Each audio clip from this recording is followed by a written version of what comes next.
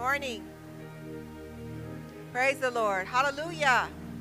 Hallelujah. As people are coming in, come on in. Praise God. Hallelujah. We are here once again to worship the Lord. Hallelujah. Let's give the Lord a praise. Hallelujah. We are here. To God be the glory. We are here to worship the Father. Hallelujah. Glory to his holy name. As we come together this morning to fellowship and worship the Lord, let us tune our hearts and our mind to his presence. He's here. And we expect the unusual today.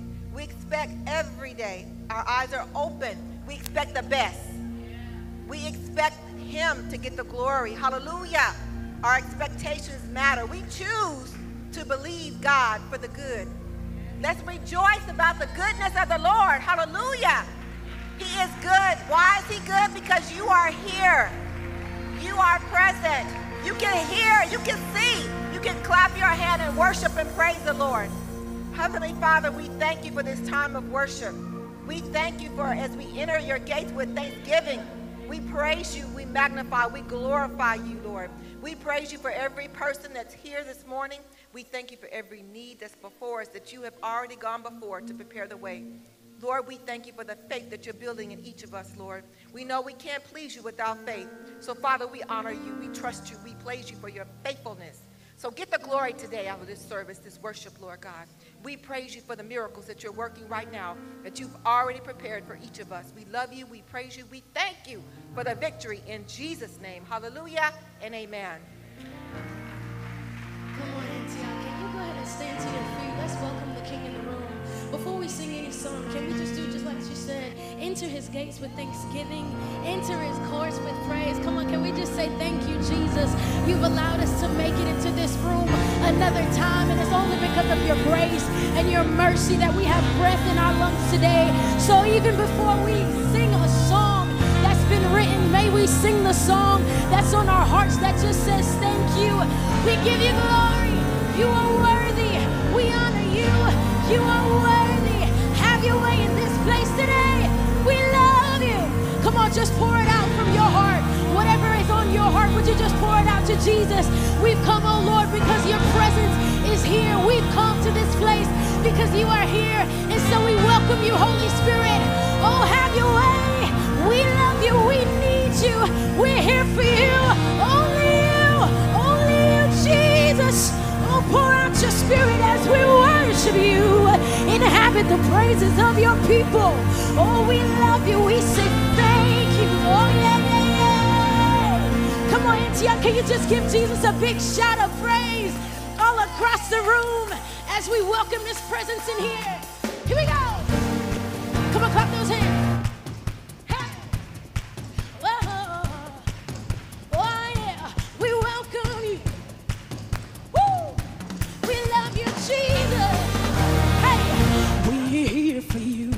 Let your spirit move as we shout your praise from our hearts to your ears. All the glory is yours now forevermore.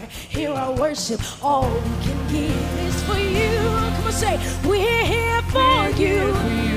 Come on, let's set our intentions today for you, Jesus. Oh, for you. Yeah. Here we go. Say, we dance, we dance. That's it. And we sing. Oh. We sing. On, break free in this room. We worship. We worship. You are King. That's it. Say, we're here for you. And we give. We give Oh, we give you everything. everything. That's it. To the one who is worthy. Oh, oh, oh. Come on, let's say, we're here for We're you. here for. Come on, would you clap your hands, oh you people? Oh, oh yeah, we are here for you, Jesus. We know that things change when you come. So we've decided that we're gonna stay right here with you. Say, if you don't come, we won't move. We're desperate, Lord, for a touch from you. If you don't come, we won't move. We're desperate, Lord, for a touch from you. You say, You don't come. here we go. We won't Oh, we are Desperate, desperate. Lord, for a touch Can you just cry out you. that in this room? We won't move. We are. desperate. Come on, into it, let's say, you don't come. We won't move. We are desperate, yeah. Lord, oh, for your glory, Lord. Hey, we are. I said, you don't come. We won't move. We're desperate, yeah. Oh, you don't come. We won't move. We Oh, clap your hands. Come on, clap your hands in this room. Oh, Jesus, we welcome you. Yeah, yeah. We're here. We really need, we need a touch from hey. That's it. Oh, we need a touch from you, Jesus. A touch from you. Come on, would you shout that out to him? Oh, God, say, we need a touch. Take it up. Oh. Come on, oh. Antioch. If you know that only when Jesus comes, things change. The atmosphere begins to shift. Everything that you need is brought in when He comes because we know who it is. Oh, He is Jesus. Oh, He's the way maker. We know Jesus. He's the chain breaker. Lift your voice. Come on, would you shout His name? Say, Waymaker. Oh, you are. Hey, he's a chain breaker. Can I get you to break real fast? So, listen, if there's somebody in this room that has a need, can you just make a noise to it in this room? Can you just lift your voice if you have a need? Is there anybody in this room that has a need that needs Jesus? Yeah? Okay. So we're gonna sing the name of Jesus. And I want you to know in your heart that when we sing the name of Jesus, He begins to move on our behalf. He begins to move and He begins to do everything that He's promised. And so, in this moment, when you lift up Jesus, I want you to just do it with all faith that you have, every bit of faith that you have in the God that we serve, knowing that as you worship, He's going to be taking care of you and the things that are concerning your heart. Are you ready? So, let's do it again. Here we go. We shout, Jesus, you are waymaker. We say, Jesus, you are the chain breaker. You got it. You say, come on, all in this room. We know you waymaker. Yeah, say Jesus. Lift it. He's the chain breaker. On. Power in the name save, heal, deliver. Yeah. J- Jesus. Come on, sing it. He's the chain breaker. Whatever you need, it's in Jesus. He's the way maker. Oh, Jesus. Hey, he's the chain breaker. Now, somebody across this room, can you just worship Jesus? Oh, yeah, yeah, yeah. We know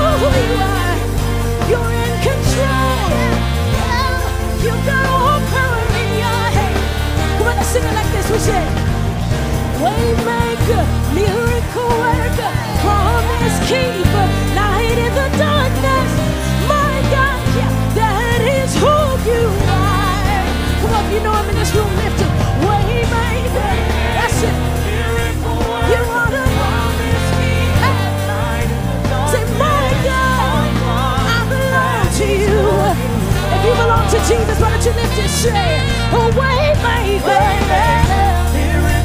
That's it. Promise keeper. I know you're oh, time we call you. Miracle.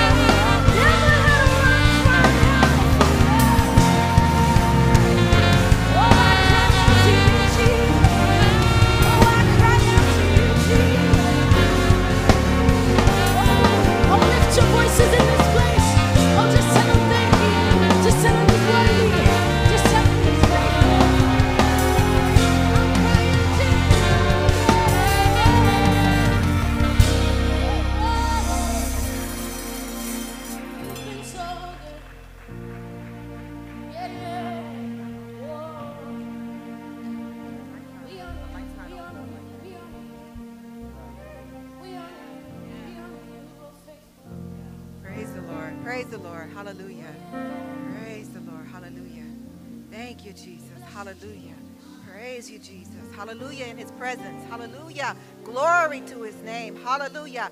As we enter into this communion time, if you don't have your sacraments, you raise your hand. You will be served. Hallelujah. As we prepare our hearts, you may have your seat. Let's have let's prepare our hearts for the time of communion.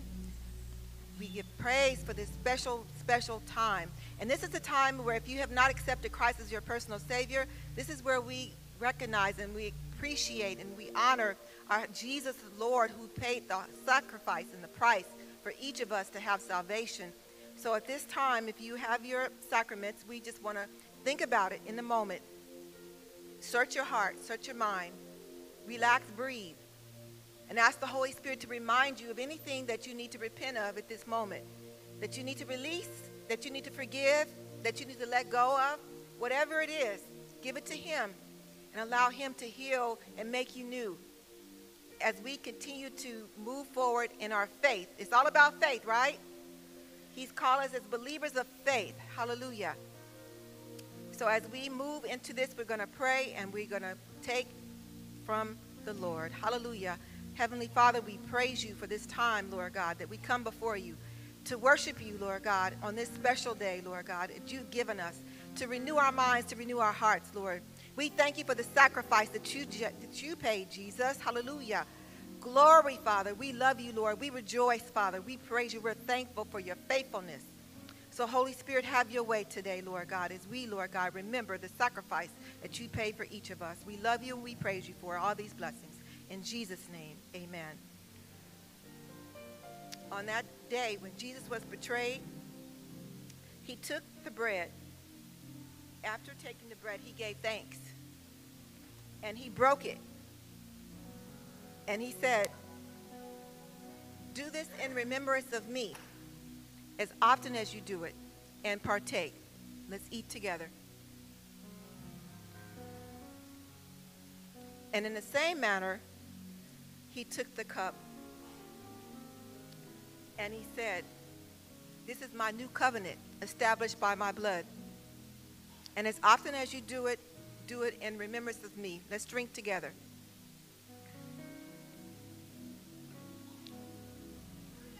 Hallelujah. Thank you, Jesus. Hallelujah. Father, we praise you and we thank you, Lord God, for this newness of life, Lord. We thank you, Father, for the sacrifice, Lord. We praise you for the newness of life, Lord. We thank you that our faith is increasing in you every day. We trust you. We love you. We thank you, Father, for your power and your majesty and your glory. In Jesus' name, hallelujah and amen.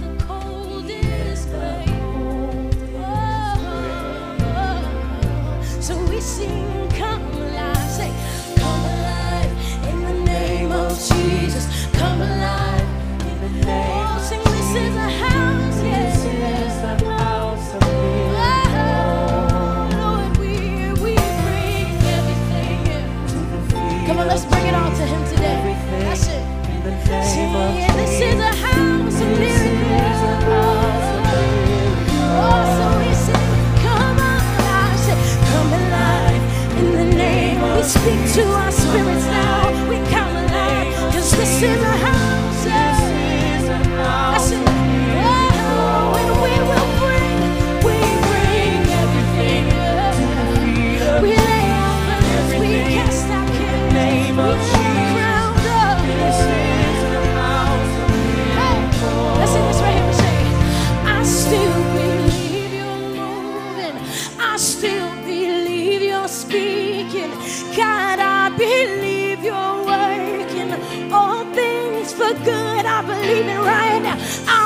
my eyes on heaven. God, I receive fresh vision.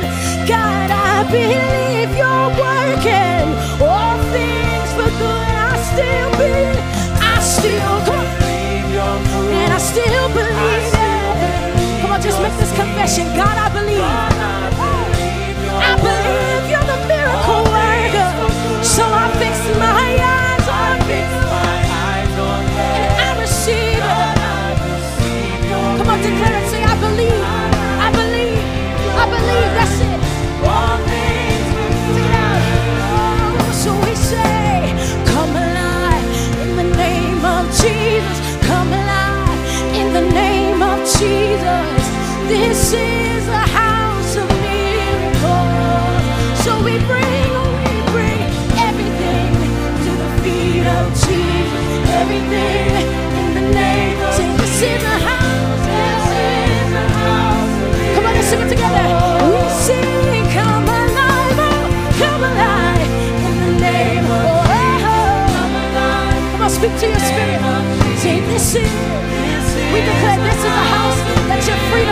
Holy Spirit, have your way. We oh, everything in your name. Say, this is a house. This is the house. Come on, let's say.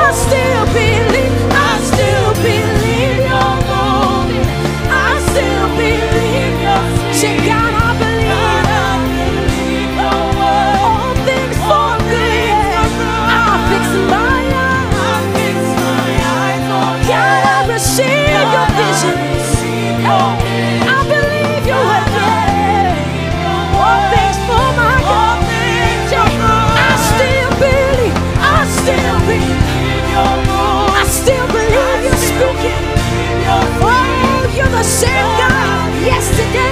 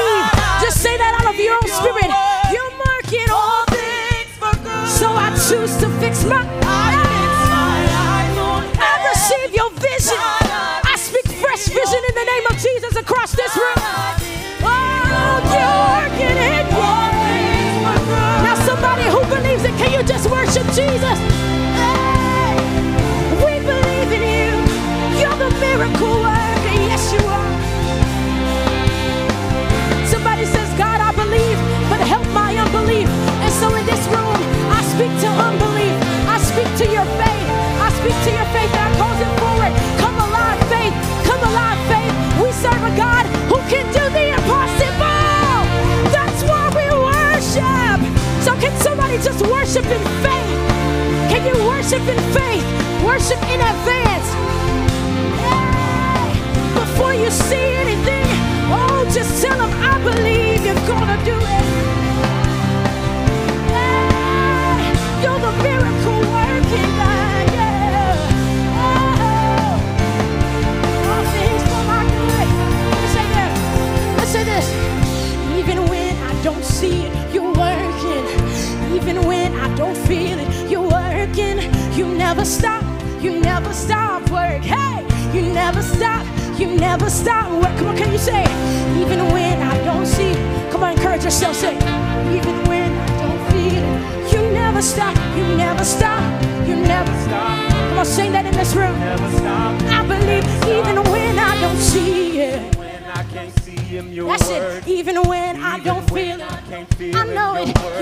Stop. You never stop. You never stop. Oh, no. You never stop. You That's it. stop. Even when I don't see it, your When I can't see him, your word. Yeah. Even when I can't feel it, Say, your word. you never stop. never stop. You never stop. Stop You never stop.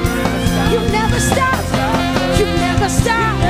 You never stop. Oh, you never stop. You never stop. You never stop. You never stop. You never encourage yourself. You never stop. You never stop. Oh, because you love me. You never stop. Yeah.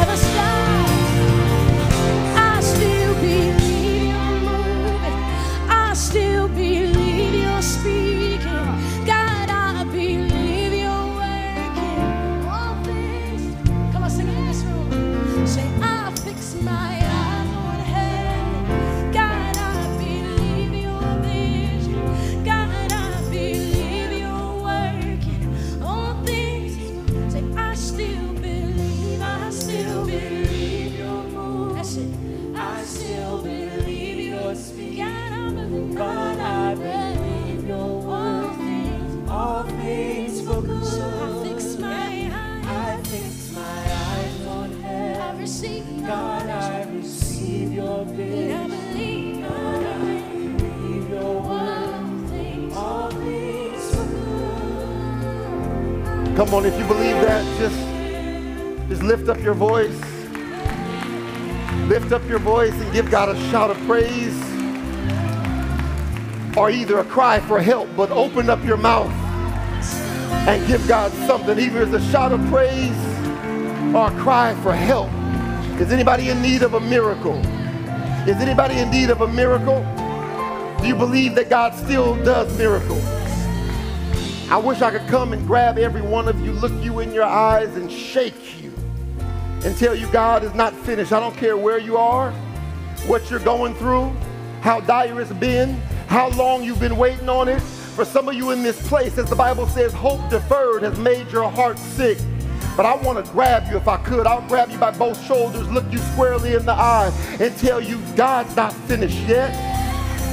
He's a God, no matter the circumstance, no matter the opposition or deficit, that is still working miracles.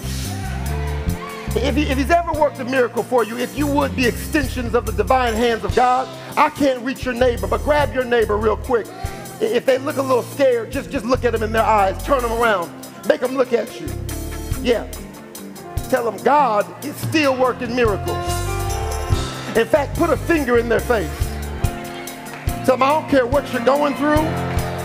I don't care who's against you. I don't care what weapon has been formed. God is still doing miracles. He's still healing bodies. He's still. Giving divine provision. He's still protecting. He's still covering. He's still pulling your children back home. He's still filling with his spirit. He's still raising people up in a generation where they said the church is dead. No, God is alive. And if he's alive, tell somebody he's still doing miracles. And if they won't praise him with you, tell him, God, I'll praise you myself. Would you make me a miracle? Would you make me a testimony? still believe yours. Come on, sing it like you believe it. I believe you're working all things for my good. So I fix my eyes. Not my circumstance. Go ahead.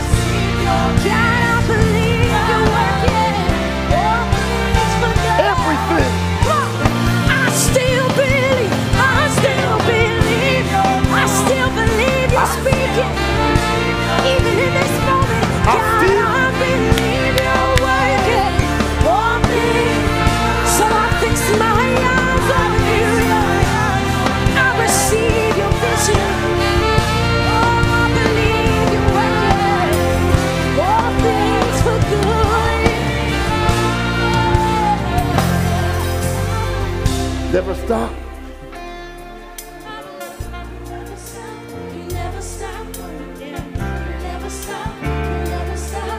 Listen, I seen y'all tear the club up for something that didn't change your life. But I dare somebody to tear this church up with a faith declaration. I don't care what you're going through. Grab somebody, tell them he never. I know this is not your usual shout, but it still works. Tell them. You never stop. I got confidence in Jesus. Hey, He never. You never stop. You never stop. Grab somebody, tell them he never stops. You never stop. You never stop. Oh, oh, oh, I believe. I believe you never stop. Hey, you Come on, never even if I can't see it, even if I can't see it, God, Even you I still. don't- Even when I don't see it, you're working. and even when I don't feel it, you're working. You never stop, you never stop working. You never stop, you never even when, even, even when I don't see it, you're working. Even when I don't feel it, you're working. You never stop, you never stop working. You never stop working. I, I know when we play the fast church music, you get it in, but learn to get it in over your declaration and not the beat. Look at your neighbor, tell him I'm not excited for what's being played. I'm excited for what I'm saying. And I'm gonna sing this over myself with every part of me until I believe what I'm declaring. Grab somebody by the hand, tell him he never stops. Come on. Even if I can't see it, he Even when I don't see you working, even when I don't feel you working, Never. you never stop, you never stop working, you never stop, you never stop. Even when I don't see you working, even when I don't feel it, you working, you never stop, you never stop, you never stop. You never stop, you never stop, you never stop. You never stop. You see it through to the end. You never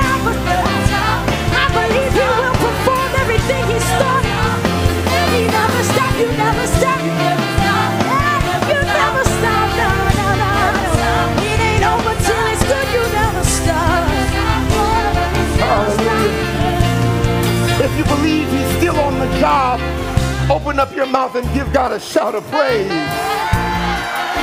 Yeah, yeah. Tell somebody you can go to sleep. He's on the job. You you don't have to stay up stressing about this. He's on the job. While, while you're sleeping at night, he's still.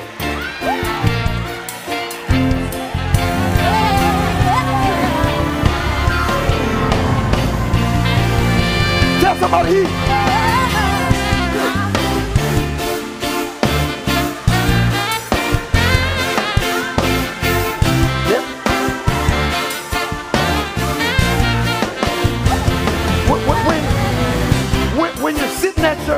Your cubicle or in your office, and Belinda and them is hating on you, trying to undercut you for the position that God gave you, don't go entertain them.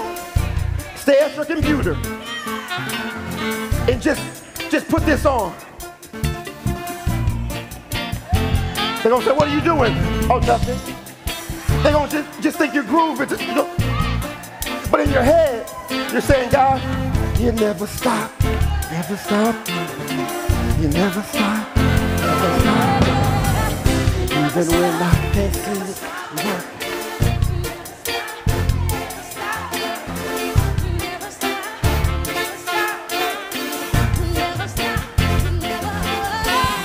God is working.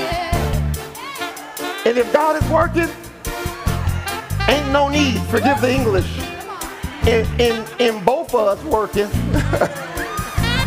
Tell somebody, let him work, let him work, let him work. Sometimes you have to give room for the Lord. I, I I'm sorry, I don't know what my English is happening with my English today. T- tell somebody, tell somebody, I ain't arguing no more. When I'm quiet, then that's when you better watch out. Because I'm leaving the room for God to deal with it. In fact, next argument, I'm not even going to have it. I'm going to let them do their thing. I'm just.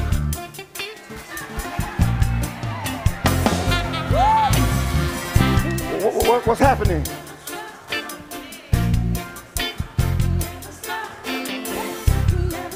That's our declaration for this week. Come on.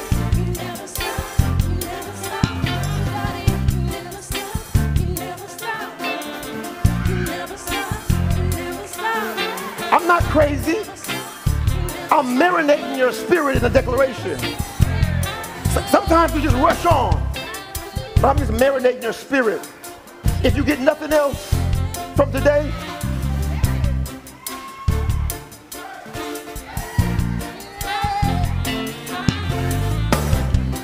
doesn't always feel good, but God,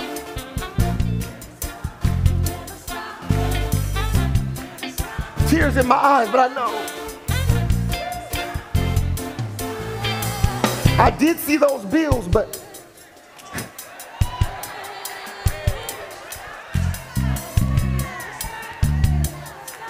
I heard what the doctor said, but I declare, God.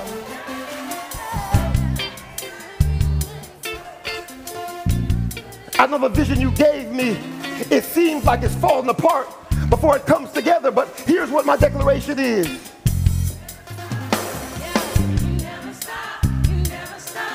Okay, okay, okay, okay, okay, okay. So, Father, this is a declaration of our hearts. Some of us say this by faith. Some of us declare what we have seen. For many in this place, for some in this place, it is a testimony of your recent goodness. But wherever our voices are lifted and the meditations of our heart turn, turn towards you, we simply ask that you receive the gift of our praise. I pray that you surround us, that you marinate us this entire week in this declaration, no matter what it looks like, no matter the obstacle, the challenge, the deficit.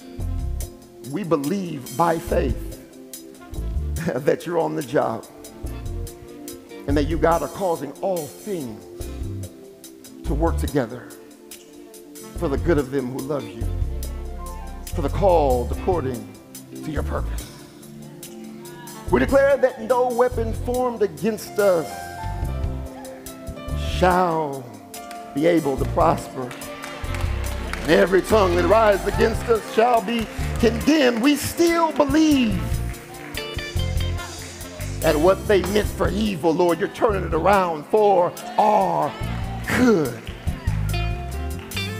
And ultimately, Lord, it is not for an earthly, horizontal, terrestrial flex.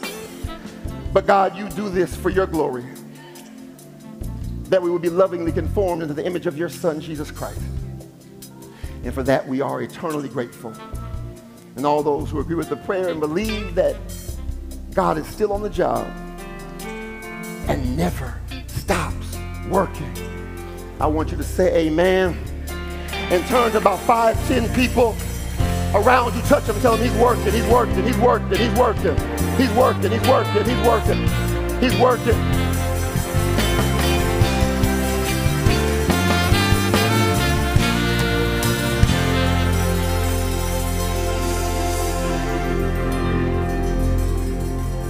Well, y'all, come on, let's praise God for the praise team for this band, Trinity and the praise team. It's band, and so grateful that you're here. Listen, I worked up a sweat. I'm ready to go home now. I'm, but I won't.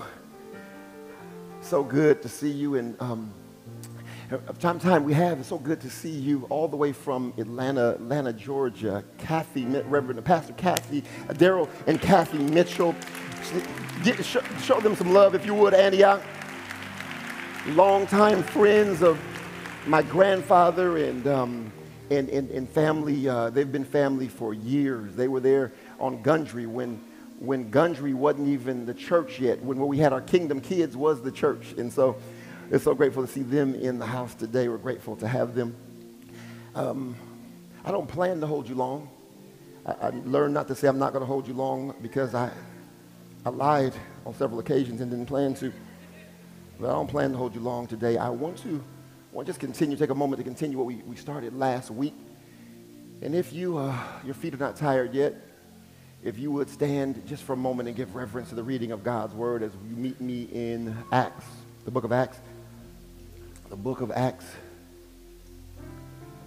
chapter number one, beginning at the fourth verse. Acts 1 4. When you get there, say something. If there are any visitors in the house and you don't mind being recognized, if not, don't worry about it. But if you don't mind it, just if you would, throw your hand in the air and wave it like you just don't care. Let us see that you're here. Antioch, if you see a, a hand wave around you, show them some love. Welcome them into the house. Welcome them, welcome them, welcome them. See a hand, welcome them into the house. So grateful that you're here. It's an honor to have you in the house today. I want to continue um, with a message that we began last week. I planned to do it the week before, and I have one more in this, this series of messages. Uh, but next week's Father's Day, we're not going to cheat the fathers. I got no amens for that. Thank you. Thank you. I appreciate it. Got one. We're going to, be much better next week. Acts 1, Acts 1, chapter 1. Acts 1, verse number 4. You there? Well, talk to me, y'all. You're not going to look up here at me. Talk to me. Holler back at your boy, please. All right, thank you. What is happening? Is it, are you guys hot? Is it warm? Is that what it is? All along, I thought there was a limitation in the spirit. And y'all, turn on the air, please. All right. Acts 4, chapter 1, verse number 4. It says, Gathering them together, he commanded them not to leave Jerusalem, but to wait. Say, wait. For what the Father had promised, which he said, You've heard of me. From, from John the Baptist, uh, you've heard of me. He said, You've heard of, from me. For John the Baptist baptized with water, but you will be baptized with the Holy Spirit not many days from now. If you read down, skip down to chapter number two, verse number one, it says, When the day of Pentecost had come, they were all together in one place, and suddenly there came from heaven a noise like a violent rushing wind, and it filled the whole house where they were sitting. And there appeared to them tongues as of fire distributing themselves, and they rested on each of them, and they were all filled with the Holy Spirit and began to speak with other tongues as the Spirit was giving them utterance. You may be seated. Thank you guys so much. Thank you. Thank you. I grew up um, in a family, and I've shared this many times, of, of pastors, uh, leaders, ministers, uh, for several generations. As far as I can trace it, back to, to slavery with my grandfather, my mother's side, my grandfather, um, Cicero, that you know he was a bad man with a name like that, Cicero.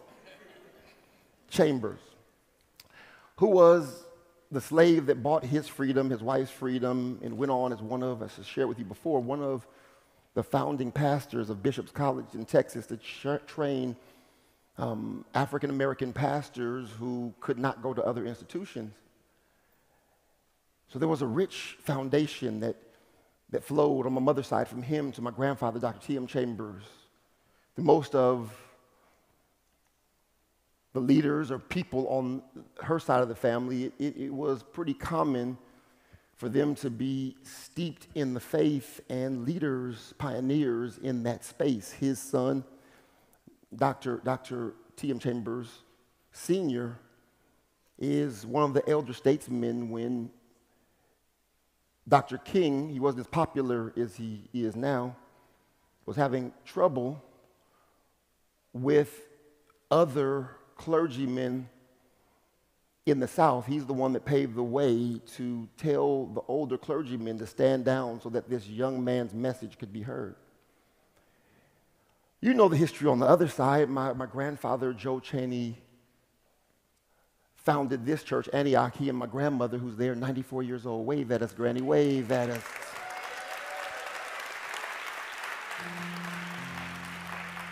Every time I ask her how she's doing, she says, I'm, I'm still in the race.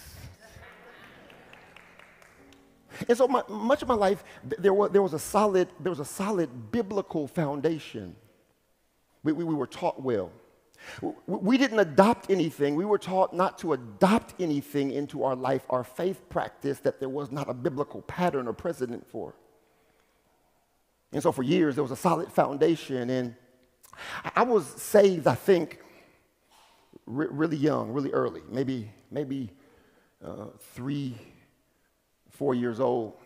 I really remember understanding the message, and it wasn't long after that before my grandfather baptized me on Gundry.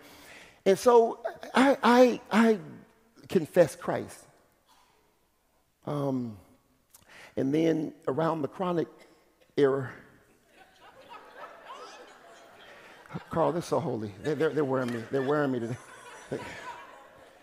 Um, around the chronic era, um, I was in high school. Tupac, run with me. Tupac. Uh, the, the, the Deco Double G, um, Dre, and um, Second to None, DJ. Y'all remember all that? Y'all, uh, they've been saved harmony for too long. They've been saved for way too long. I, I, I drifted a little bit. What, what, you drifted. Terry, you said we're all there. Well, can I get an amen? Somebody don't leave the pastor out here by himself. I just, y'all came out of the womb speaking in other tongues, didn't you? And so, and so over, over time, I, uh, you know, I, I, I drifted a bit in, I wouldn't suggest that I lost, I don't believe that I lost salvation. I do believe that the confession that I made was accurate. The confession I made was real. My belief in Christ was real. The Holy Spirit I possessed, I believe, with all my heart. But interestingly, I, felt what many of you have felt, and it's not just a one-time thing, it happens often over time. And that is, is I felt like I hit a glass ceiling. I felt like there was more that I wanted to do than I could actually accomplish or pull off. There was a whole lot of stuff as it relates to the move of God or God's kingdom that I was fitting to get ready to do. But, but I could not really walk into that reality. And I remember some, some, some young guys that were at Poly High with me, they were, they were on fire. I'm talking about on fire. I loved Jesus, but I, was, I loved other things as well. You know, I wasn't as saved, but I mean, they were on fire. They came to the school, to campus with their Bibles in hand. I mean, while we were out there, you know, I was trying to keep my curly top together, you know, and my goatee lined up. I've had this goatee, Carlos, since I was 12. I feel like I'm not Usher, but these are my confessions. They would send me, I'm the one, Brother Daryl, don't tell my father and mother, uh, but I'm the one that they would send if there was a party into the store to get some communion. That's how old I look. In high school, I was the only one that came with a newspaper under my arm and a coffee mug in my hands. A high school. I looked like a grown man. They didn't even ask any questions or for ID when I walked in. I told them it's the way you say it. You don't ask, can I have that drink? You say, give me that. And when you have a little facial hair in ninth or 10th grade, nobody asks any questions. See how they act when I give my testimony? This is why people don't like the church. And I'm the pastor. This is hard for me. Like, man. It's, it's so, and so there was these, these two, two guys that, that were on fire, and you would know them if I said their names, for those of you around and went to Poly. And, and, they would carry their Bibles to school every day. And, you know, every time they saw me, they would, they would, they would, they would pray for me. In fact, before they got to me, they would just shake their head a little bit like this, and, you know, hey, Brother Wayne, you know. And then invite me to these church meetings and church services. I said, I can't go to your youth night. I'm sorry, because your youth night is the same time as the house parties. I cannot go to your youth and young adult Bible study. In fact, I have a party I'm throwing myself. I cannot go to your youth and young adult Bible study. And, and, and one day they got me cornered.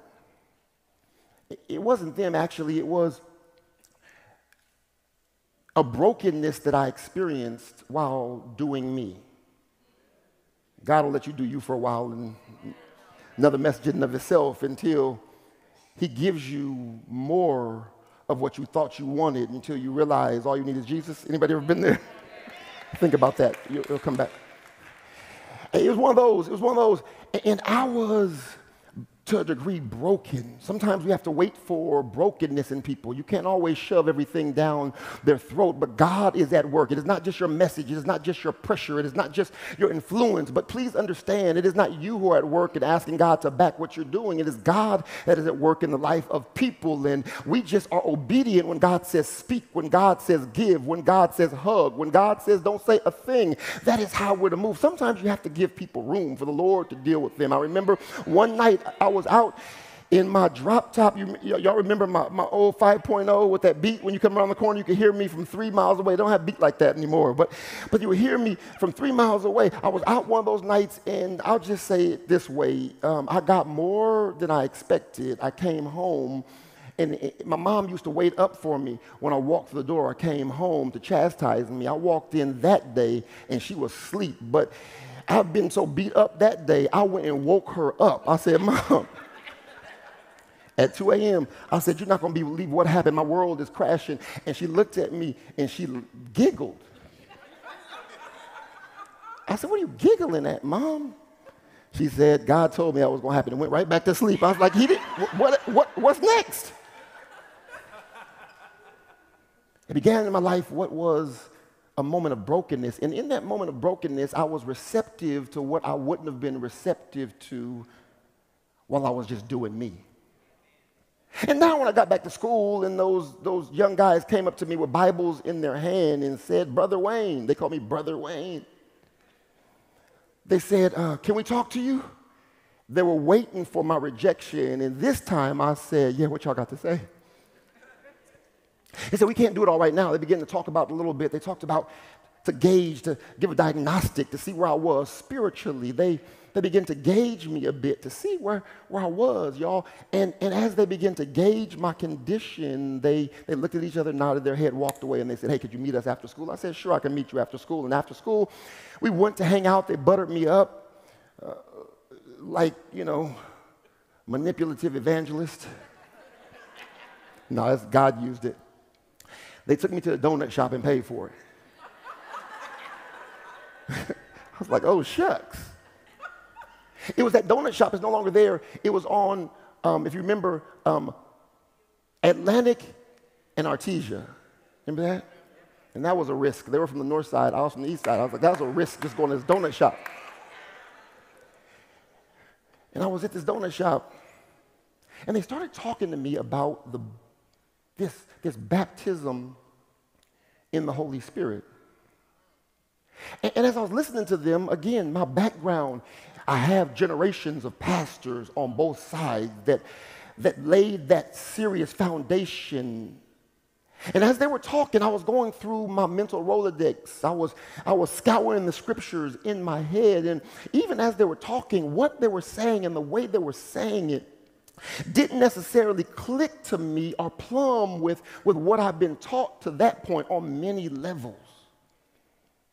But as I began to to, to, share just a little bit more with me. To this day, I, I don't view it theologically, and their theology has evolved from that day we sat in the donut shop. But isn't it interesting how, even with flawed sometimes theology, and though we know in part and prophesy in part, we only see bits and pieces of the picture, God still breaks in from time to time and moves because God decides to move the way God decides to move, even when our delivery or sometimes our theology is even a little messed up. Are you with me?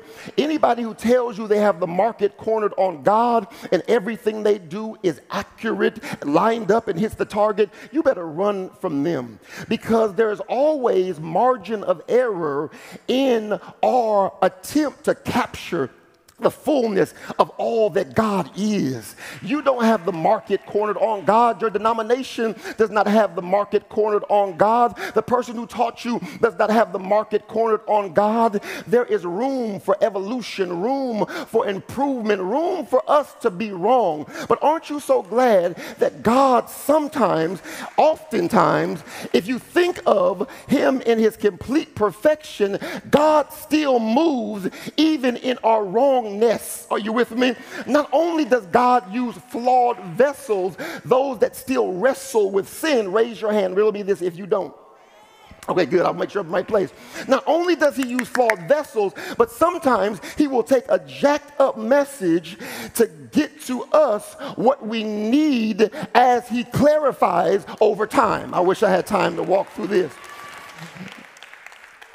I sat at this donut shop they began to share with me about this Holy Spirit and the work of the Holy Spirit. And I was arguing with them, listen, I already have the Holy Spirit. I wouldn't be saved, I didn't have the Holy Spirit. And there's evidence of the Holy Spirit in my life, and there's the fruits of the Holy Spirit. They said, yeah, I, I hear that. And what they were trying to explain is that there is a baptism in the Holy Spirit that, that, that they were using language. I, that, they said, you don't, they led me to believe I didn't have it. They were saying, no, no, no, no. They, they, they've evolved over time. But at that moment in time, I was arguing, no, I, I, I have the Holy Spirit. I, I, know I have the Holy Spirit. But what they were saying is, we're talking about the baptism in the Holy Spirit. We argue back and forth. They said, no, you, no, you, no, you, no, you. Said, what about this scripture? What about that scripture? That's not what that scripture means. We went back and forward. And I told them after a while, I'm tired. I don't want to, I don't want to do this no more. I finally just said, God, whatever you want me to get. I want it. And we all left the donut shop frustrated. I had jelly still on my cheek. Wiped my cheek. Went outside of the parking lot right there on Artesia and Atlantic. And they said, We're not going to argue anymore, man. Can we just pray for you? They both laid hands on me. They prayed for me at that moment.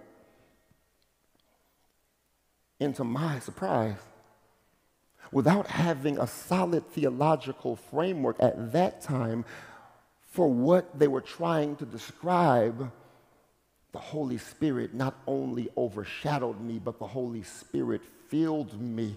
I mean, every fiber of my being. It was not just a belief system, but it was an experiential feeling. And without anybody coaching me saying, mommy, mommy, daddy, daddy, say Jesus, Jesus, Jesus, Jesus, Jesus, Jesus, Jesus real fast and let it roll into something. Just with them praying for me out of my innermost being began. there was a flow, there was a flood, there was a river that came out of my mouth. I began to speak in other tongues as the Spirit gave utterance. It was a heavenly language that flowed from me. And as it was flowing from me with every word that was rolling off of my tongue, I did not understand it, but I experienced it. I knew it was that which the prophet Joel spoke of. I knew it was that which Peter preached about. I knew it was that that happened in, Acts chapter number two on the day of Pentecost. And every fiber of my being was filled. It was not just the language, it was not just the tongue, but it was the boldness that came over me. It was the presence of God in a pr- profound way that was restored. It was my faith was lifted. My ear was tuned toward God. And as I was leaving, they told me, stop, stop, stop. Hold on, you can stop it. I said, I can't. Close your mouth. I stopped it. They looked at me and they said, now listen, this is your gift. They said, you can do this as much as you want. And I, I, I, tried to wrap it up real quick so I can get back to it because I was embarrassed a little bit they were looking at me. They were looking like we told them, and I was looking like I was arguing with y'all with all uh, my, my, robust theological framework and the way this has all been taught to me. I was arguing with y'all, and I was a little embarrassed because I'm experiencing the very thing I was arguing. But, but I said goodbye. I couldn't wait to get in my car. And I got in my car, how many? And, and I drove all the way in my car as it relates to, to, to uh, on my way home. As I'm driving in my car on my way home, it continued to happen. I went, said hello to, at the time I was my grandparents, said hello to them. I went in my bedroom and I, I rolled around that bed all night long with it rolling off my tongue. And at that moment, it was not about a language. At that moment, my faith was renewed. I felt, I was filled to the fullness to fullness in that moment. And, and I still tore up a couple clubs after that. But that marked the shift or the trajectory of my life shifting from that point forward. My question to you, in fact, you asked your neighbor, because I'm too far away for them to respond. Ask your neighbor, have you been baptized three times?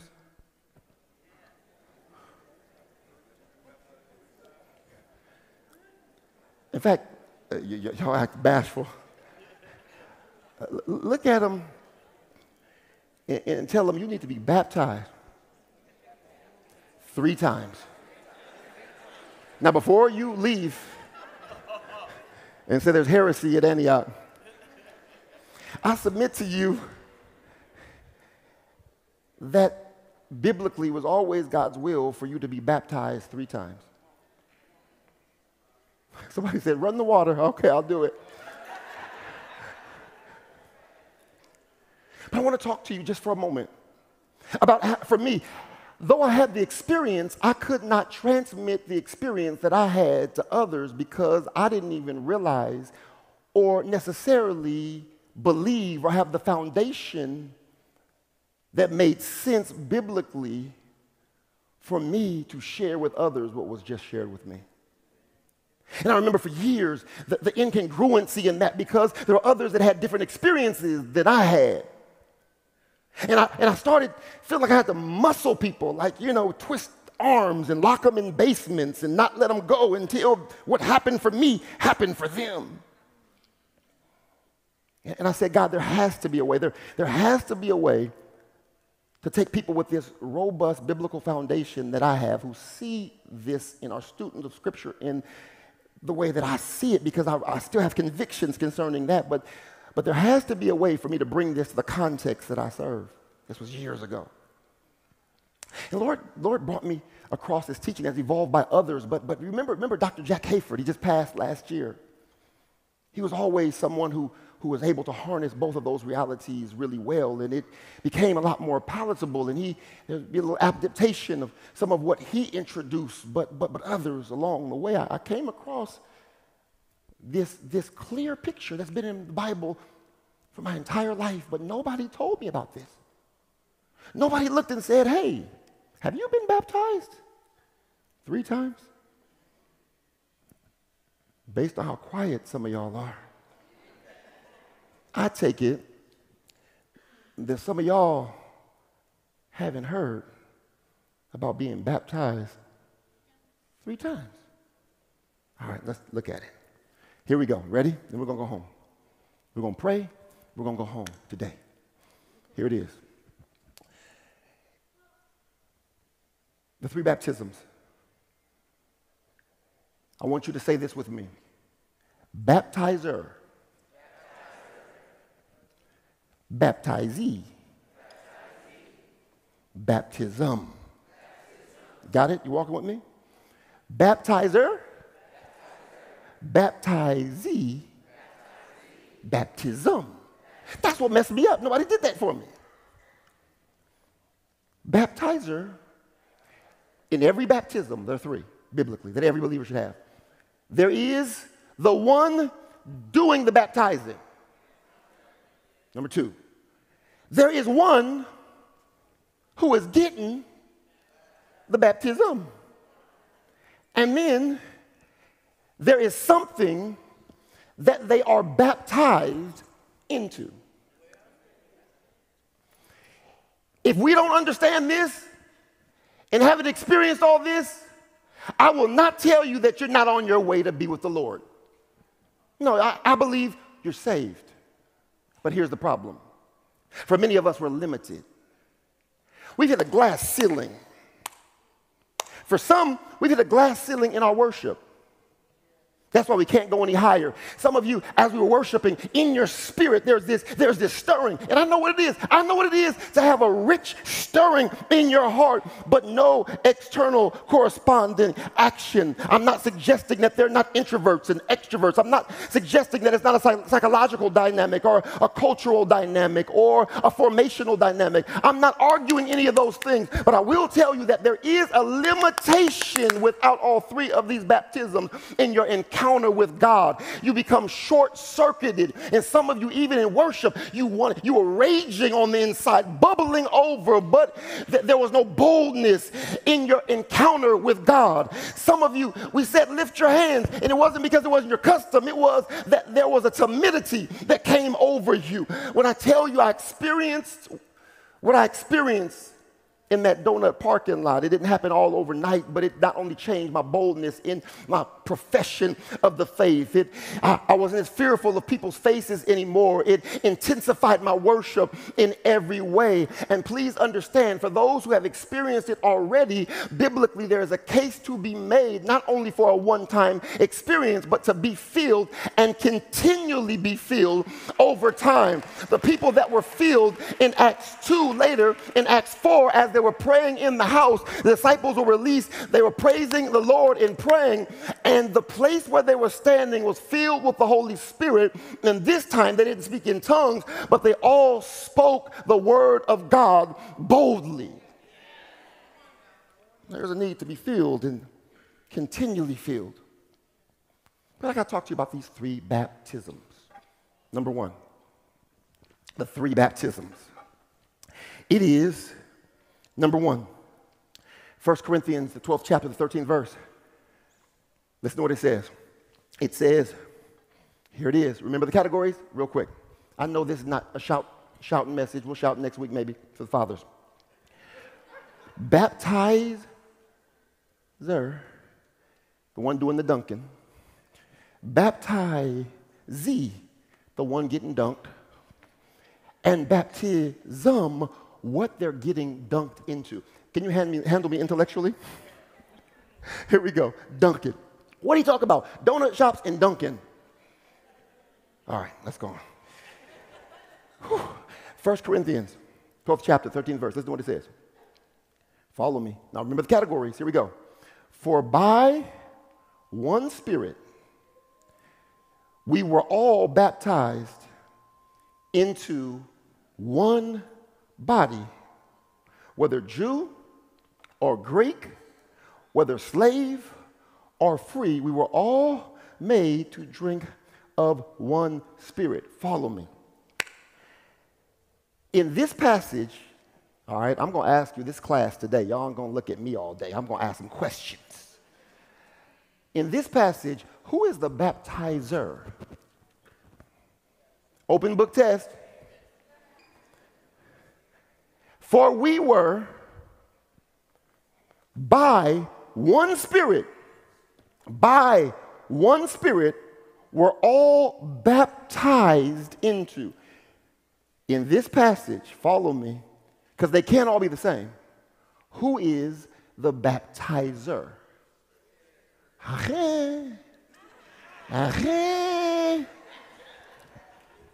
So in this passage, follow me, baptism number one we as believers, can I, can I give you a blues clue real quick? The middle section never changes. The baptizee is always the same, it's you and me. The things that change are the baptizer and the baptism. In this passage, it says, For by one Spirit we were all made for by one Spirit we were baptized. By one Spirit. So in this passage, the one doing the baptizing is who? Aha. The Holy Spirit is baptizing. Say it like me, real intellectual. The Holy Spirit's doing the dunking. Follow me. For by one Spirit we were all baptized, notice this baptism number one, into what? Y'all got a Bible? Y'all, is it on the screen? Anybody got a Bible? Read it. We're all baptized into what? Into what? Into one what? Body. Huh. Uh-huh. The Holy Spirit is the baptizer. What are we getting dunked into? We get dunked into the body. The body of what? Uh huh. The body of Christ. So here it is. This baptism, number one, the Holy Spirit baptizes us into, transports us into. God counts toward, uh, toward us not our failures, not our flaws, not our mistakes, but your salvation and belief in Christ activates the Holy Spirit to not just, it is not just a belief system. Don't ever let anybody tell you it was just a belief system. No, your belief triggered your experiential divine encounter. You believed on him as Savior. But the, when you did that, when you confessed with your mouth and believed in your heart in Christ Jesus and that God raised him from the dead, the Bible says you shall be saved. It was not just something you repeated. Don't let anybody ever minimize your salvation experience if you truly believed and you truly confess at that moment, the Holy Spirit, though you were still here on earth, though you were standing in front of that minister or friend who was ministering to you, in the Spirit, the Holy Spirit took you and put you, placed you, submerged you, baptized you into Jesus Christ, into the body of Christ. So when God looks at you, this is people that think you could lose your salvation today and gain it tomorrow and lose it again and gain it tomorrow. They don't understand the baptisms properly because when He baptizes you into the body. He does not take you out of the body. No, when you confess and believe, that's your first baptism. You are baptized by the Spirit into the body of Christ. When God sees you, He doesn't see your past, He doesn't see your failures, He doesn't see your mistakes, He doesn't see your shortcomings, but He sees the complete work of Christ that's paid the price for you, and you are in Christ. If I'm in Christ, it's no longer I that live, but it's Christ who lives in me.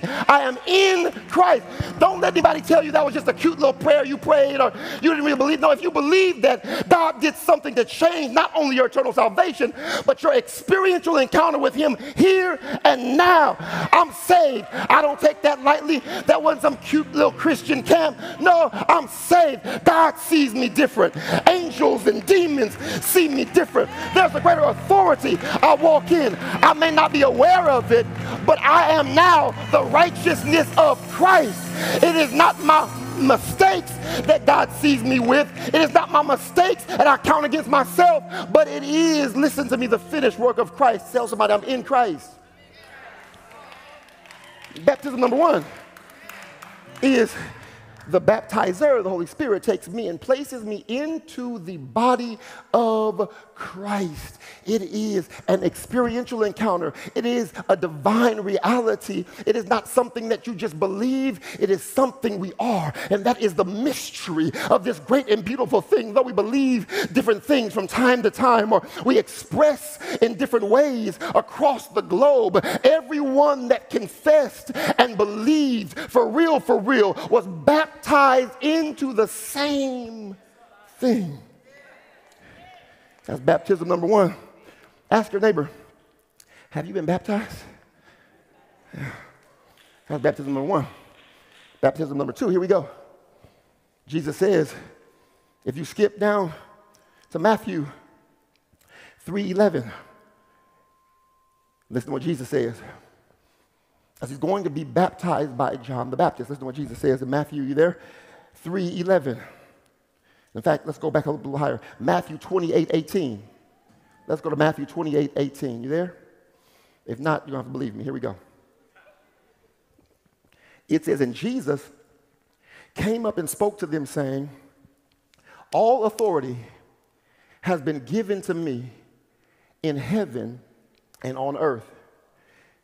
Therefore, go and make disciples of all nations baptizing them in the name of the Father and of the Son and of the Holy Spirit, teaching them to observe all the things I commanded you, and lo, I will be with you always, even to the end of the age. All right, so baptism number one is when the Holy Spirit baptizes us into the body of Christ. We're baptized into the body of Christ.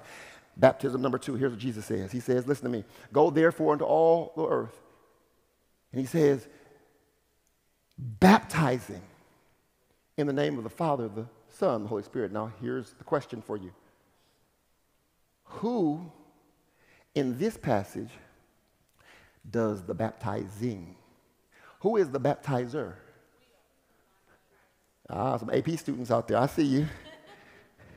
In this passage, Jesus, the Messiah, looks at us and says, You go.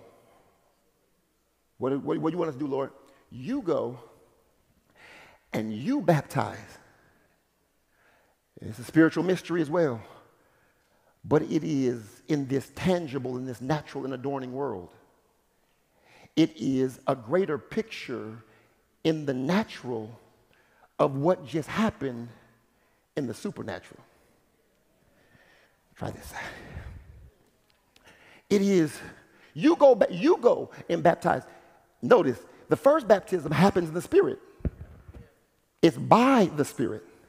The Holy Spirit takes the believer and dunks them into a spiritual reality, which is the body of Christ. But the second one, he says, now, if you confess and believe, that happens spiritually, but we need to have some corresponding sign in the natural world of spiritual realities. Because when there are no natural signs of spiritual realities, the spiritual realities become obscure and people forget about it. So here's what I want to do I'm not going to take the Holy Spirit now, I'm going to take a physical human to give a physical sign of a spiritual reality. So that as they live in this physical body, they will not forget their spiritual state. So he says this. He says, So I'm, I, I need you as believers with physical hands to take people and dip them, baptize them into some second baptism. Watch this. So the baptizer is the believer. The baptizee is also the new believer. What is the baptism? The baptism is to take them as a spiritual mystery, but also as a sign of the spiritual reality that they just walked into, to take them physically and put them in physical water, representing that they've been buried and identified with Christ in his death, burial. But when they come up out of that water in his resurrection. So the second baptism. First baptism is the Holy Spirit baptizing you into the body. Second baptism is the believer baptizing you into water. Let's look at the third baptism, we're going go home. As Jesus is going to be baptized by John, speaking of this baptism, here's what he says Matthew, third, third chapter, beginning at the 11th verse. Here's what it says. Let's go home. It says, As for me, I baptize with water for repentance. Say repentance. But he who is coming after me, this is John Baptist speaking, is mightier than I. Talking about Jesus, right? He says, and I am not fit to remove his sandals. He will baptize you with the Holy Spirit and fire. Third baptism, here it is. First baptism, the Holy Spirit puts you into the body of Christ. Second baptism, the believer takes you and dunks you in water. Third baptism, Jesus says here. He says, John says, Jesus, I'm going to baptize him. I come baptize him with water, but there's one coming, speaking of Jesus, who is going to baptize with the into the Holy Spirit and fire. Now, don't have time to argue this. Most translation Jesus is not, when he comes back to fulfill this on Acts, Acts 2, there's no picture of fire because it should read in its original translation that he will come and baptize with the Holy Spirit, not and fire, but in context, it is the Holy Spirit or fire. Because if you continue to read, he said his winnowing fork is at the threshing floor. He will gather up the wheat to himself and bundle it to himself. He says, and the chaff will be gathered up and thrown into unquenchable fire. So here's the idea there's a separation. He says, there is fire, but there's also being baptized in the Holy Spirit. By the time we get to the book of Acts, there is no reference outside the tongues of fire, but there's no reference in the language to them being baptized in fire. They're being baptized, follow me, into the Holy Spirit. So let's do this again. Last one and we're done. Who is the baptizer? Open book. Jesus. He said, John says, one's coming who's mightier, mightier than I, that's Jesus. And when he comes, he is going to baptize you into the Holy Spirit. So, this third baptism, who is the baptizer? Jesus. What are we getting baptized into? The Holy Spirit. Baptism is the Holy Spirit. One more scripture, then we're done. 1 Corinthians. You see this pattern continued here, just so you understand it's not a mistake. When I saw this, I said, shoot, I can hold my biblical theology intact, but still celebrate everything that God has for me. And the challenge with so many of us in this place is for some, we've only had two baptisms. For others, you need to be filled afresh. Here's what he says 1 Corinthians, 10th chapter. Watch the parallel. It says, For I do not want you to be unaware, brethren, that our fathers were all baptized. All right, let me help you. Biblically speaking, when the children of Israel, they're speaking about when they were in the wilderness, they were led by a cloud by day and fire by night. That represented the leading of the Holy Spirit. The cloud and the fire represented the Holy Spirit guiding them, leading them on this pathway. So here's the idea. He said, I do not want you to be unaware, brethren, but when our fathers were all in the wilderness under the cloud, follow me, and all passed through the sea.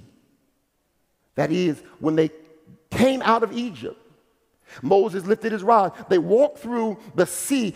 The, Israel, the, the, the Egyptians try to come behind them. They're drowned in the sea. They cross over onto dry land. They all passed through the sea and they were all, follow me, baptized into Moses and in the cloud and in the sea. Follow me. Moses, if you're taking notes, represented a type of Christ or Messiah. In the way that Christ intercedes for us with God to say the price is already paid, be merciful with your people your judgment as a righteous God will not fall on your people because my love and my sacrifice covered them. If you remember Moses in the Old Testament, as he was leading the people of Israel out of Egypt, which represents the world and the world system, through the Red Sea, which represents water baptism, to the promised land, are you with me? He says many times, God, don't kill them, don't let your wrath fall on them. God, it wasn't that he stopped God, but God was setting up a picture for us of what Christ will ultimately do. No matter where we find ourselves, Christ in his sacrifice his love keeps the judgment of God that we deserve from falling on us because, like Moses was our intercessor, their intercessor in the Old Testament, Christ is our intercessor actually, not in the New Testament, but forevermore. He stands between us and the judgment of God that we deserve and say, says, As I'm leading them to where you ultimately want them to be, I know they're walking around here in the wilderness wondering, and they're ultimately going to get to where you've called them to be. But until they do, until they see you face to face, I've paid the price, so I intercede on their behalf. Would you count what I've done toward them and not what they've done toward them? That's salvation. And so here we get to the end of the Bible. We get to First Corinthians. And he says, We're all baptized into, they're all baptized into, watch this, into Moses, that's salvation, into the cloud, that is spirit, and into the Red Sea, that is water baptism. Three baptisms right there. Look at your neighbor, ask him, Have you been baptized three times? Last one. I said that was last one, but I forgot there was one more. And then we're going to pray. 1 John 5, 6. Listen to what it says. It says, This is the one who came by water and blood, Jesus Christ. Not with the water only, but with the water and with the blood. It is the Spirit who testifies because the Spirit is the truth. For there are three, say three, that testify the Spirit, the water, and the blood, and the three are in agreement.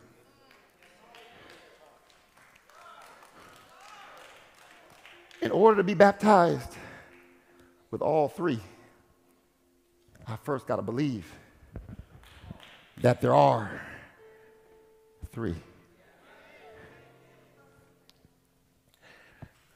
I'm closing for real. No more scripture. But I got in my car on the way over here as I was thinking about how to just drive this home as, I, as we pray.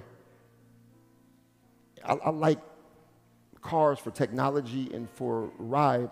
I never keep them clean. I've used cars.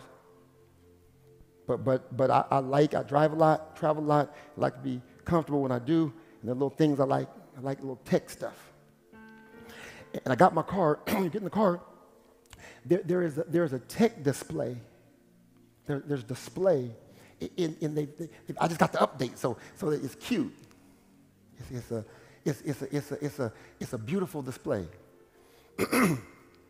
but, but when you get in the car, it, it'll give you one of two messages, one of three messages. There's one that says, um, source not connected.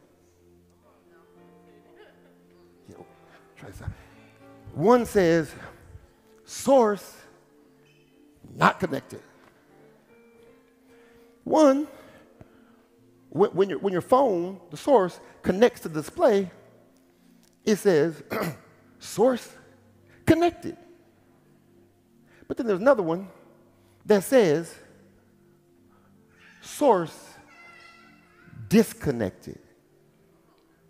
And I thought about this. I, I was on my way over, and I looked at beautiful screen, beautiful display. But here's what I found: as beautiful as it is, when people get in, they say, "Oh, what a beautiful display." But what I discovered is, if the display, if I, if my phone is not connected to the display, it is a beautiful display that means nothing. If the display is not connected to the source, all it is is a beautiful display. And quite honestly, for some of us, our worship, I, I, love, I love the screens. I love the screens. I love, I love the hazers. I love the lights. I, I love the, I love how we, how we how dim the lights to create intimacy. But, but if the worshiper is not connected to the source, it's just, it's just a beautiful display. A beautiful display. I can't make any phone calls on. No, no, no phone connection. A, a beautiful display that I can't even play any music on. Be- be- beautiful display But if the display is disconnected from the source, there is no navigation. Beautiful. Beautiful display. Th- th- There are three people in here. One, there's some of you in this place, you may be connected to the source. Strong connection. There are others in this place that are not connected to the source. And there are some in here that were connected, but have become, like that beautiful display says, disconnected from the source. And if I'm disconnected from the source, like the phone, you lose the keenness of communication. If I'm disconnected from the display, I'm going through life. But there just ain't no music. There's no, there's no inspiration. There's no joy. There's no lift. I'm, I'm tossed by everything I'm going through. I'm, I'm depressed by every mood. If my finances are up, I'm up. If my finances are down, I'm down. If they're talking about me, I'm down. If they, if, if they, they lift me up, if they, they celebrate me, I'm up. You, you, you're being tossed and driven. You, you've lost your music. You've lost your inspiration. You've lost that very thing that, that drives you. When you're disconnected from the source, there's no navigation. Like the children of Israel, you end up on an 11 day journey for 40 years. God sent me in this place to declare to somebody you've been going in circles when He's ordained, when you're connected to the source, for your feet to be established for your paths to be made straight, for high places to be leveled, for your feet to be orchestrated around the ambushes of your enemy when you're connected to the source. You get your sense of vision back. You get your sense of purpose back. You get your sense of call back when you're connected to the source. You, you gain your authority back. When you're connected to the source, you lose timidity and you also retain your boldness when you're connected to the source. You tried to do it without the source. You tried to bless those who curse you without the source. You've tried to, to uphold those who lied on you without the source. You tried to make it another day, believe that God is able, even though there's sickness in your body, but you tried to do it without the source.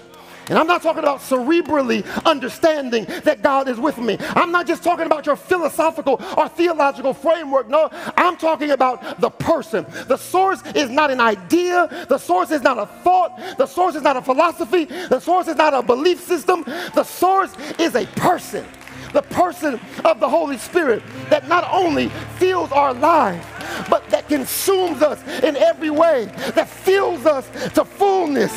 That's what your grandmother was talking about when she said, This joy I have, the world didn't give it, and the world can't take it away. How could they walk through slavery and still keep a praise on their lips, and we can't praise God because we broke up with our girlfriend? How is it that their backs were whipped, but they still sang songs of It's because they didn't have a Porsche, they didn't have a Bentley, they didn't live in Beverly Hills. But one thing they had, we got to find again. They were connected, God, I feel. They were connected to the source, the source of peace, the source of life, the source of healing, the source of deliverance, the source of salvation, the source of covering, the source of power, the source that is above every other source. They were baptized, connected to the source. Yeah, yeah. That's why we're still singing the songs they created with no education. God, I feel that. that's why it's still in our bones generations later because they didn't have everything we have. They didn't have a band, they didn't have an instrument, but their heartbeat was their instrument. Their voice was. They were connected to the source. How were Christians in the first century martyred, thrown to the lions? Their bodies were fixed with ropes to horses that ran in separate directions, pulling their physical bodies apart. And all they had to do to make it stop was simply denounce Christ. How do you give your life? How do you hang on the cross? They say Peter was hung upside down according to legend. How do you die for what you believe in? How do you suffer for what you believe in? How do you fight the good fight though you feel like giving up? You can't do that with mind over matter. You can't do that in your own strength or your own ability, but you can only do that when you're connected to the source. When the Lord takes you and not only touches you, but baptizes you into the Holy Spirit. And we got to go, but I need some people who are ready to say, God, I need to be connected once again to the source. For some of you, you may have never been connected. For others, you need to be reconnected. But you're tired of living a marginal life. You're tired of walking with no power. You're tired of your enemies getting the better of you. You're tired of getting out of bed defeated. You're tired of putting off your ministry call to another year. You're tired of the circumstances of life. God said, You tried everything else. He said, But now it's time to be filled and to be filled afresh. Every hand lifted. Every hand lifted. Listen to me. I'm going to need you to trust you. I'm going to need to trust you to be responsible in our time of giving. Don't leave here. And they're going to put the, the instructions for offering up on the screen if you want to text to give, if you want to give an envelope, if however you want to give, you can do that. They're going to put that up on the screen. But I don't have time right now to do a formal offering. I'm going to trust you to do what you know to do. Because we need you to follow up with that and to stay consistent in your worship and giving. But I'm going to trust you to do what you're supposed to do. But I can't break this right now for an offering. But I need, no, no, it's not offering time. Not yet.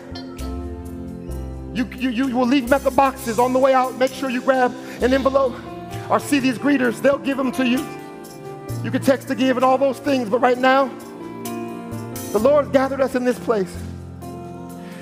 For many of you in this place, you've never had, for some of you, you've never had the first baptism. You've never put your faith in Jesus Christ as your Lord and your and Savior and have the Holy Spirit baptize you into the body of Christ. There are some of you in this place, you have done that, but you've never been baptized physically in the water and you want to do that. Call our church office. Let us know online. We'll make sure we get you connected. But the, the call today is for the third baptism. That is, that you'll be baptized in the Spirit. Now, listen to me. For some of you in this place, when we lay hands and pray for you, the manifestation of the Spirit will flow like it did for me at the donut shop. You will speak in other tongues. For others of you in this place, it's happened that it's happened later in other prayer meetings, but but in this meeting, some of you will leave with what they did in Acts 4, which is not other tongues, but it is that they spoke the word of God boldly. boldly. Your feeling will be marked by a boldness of speech again, a tenacity toward the things of God again, fuel for the mission again, a resilience that will lift you up though things have been pushing you down again. That will be the manifestation for some of you of your feeling.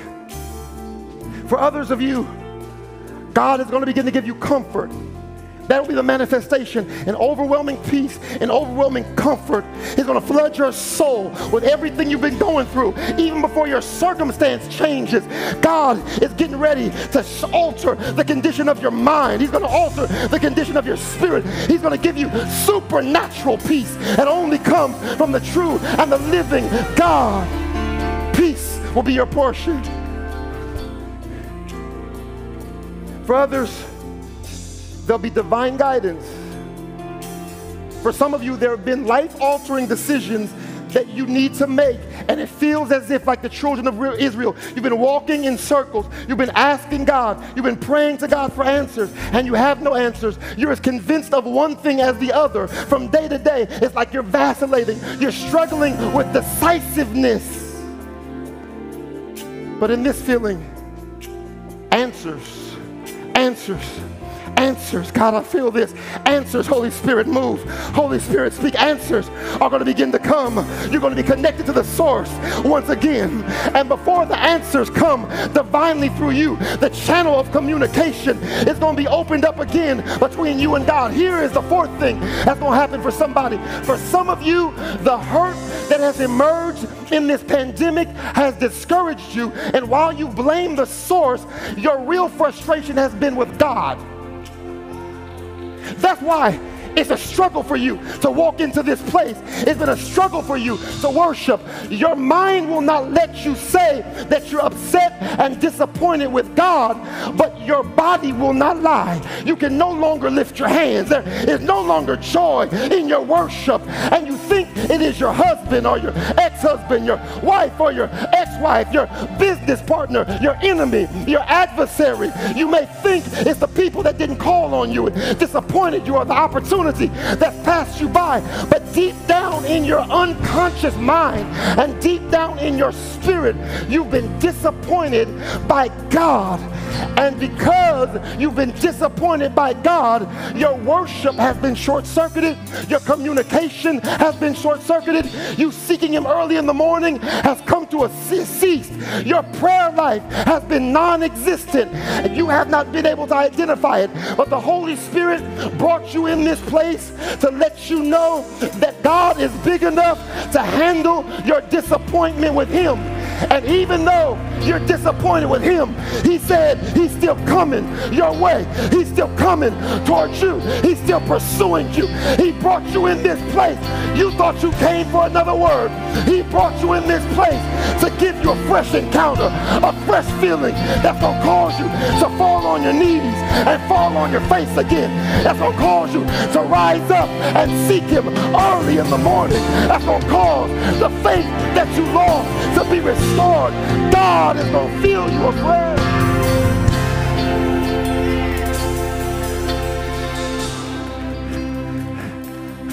Y'all know what to do with giving. If that first call was for you and you want to know more about what it means to be saved, our ministers, our prayer counselors come now, are going to come. They're going to stand around this stage. But I want to pray for every single person in this place. Every single person who said, I need a fresh feeling. I need my ministers. Come on, y'all. I need my ministers. We're going to lay hands on every person. After we lay hands, you can go back to your seat or you can go home. But I want you to hit this stage. If you said, I need that third baptism, I need that third filling, or I need to be filled afresh by the power of God. If that's you, if that's you, just make your way this way. I'll leave nobody untouched. Nobody untouched. Greeters, greeters. Yeah. Come on, lay hands, lay hands, lay hands. God, I thank you. God, I thank you. God, I thank you. Fresh feeling, fresh feeling. Moving your way. Fresh, fresh, fresh feeling, fresh feeling, fresh feeling. Baptize, Lord, baptize, baptize, baptize in your holy spirit.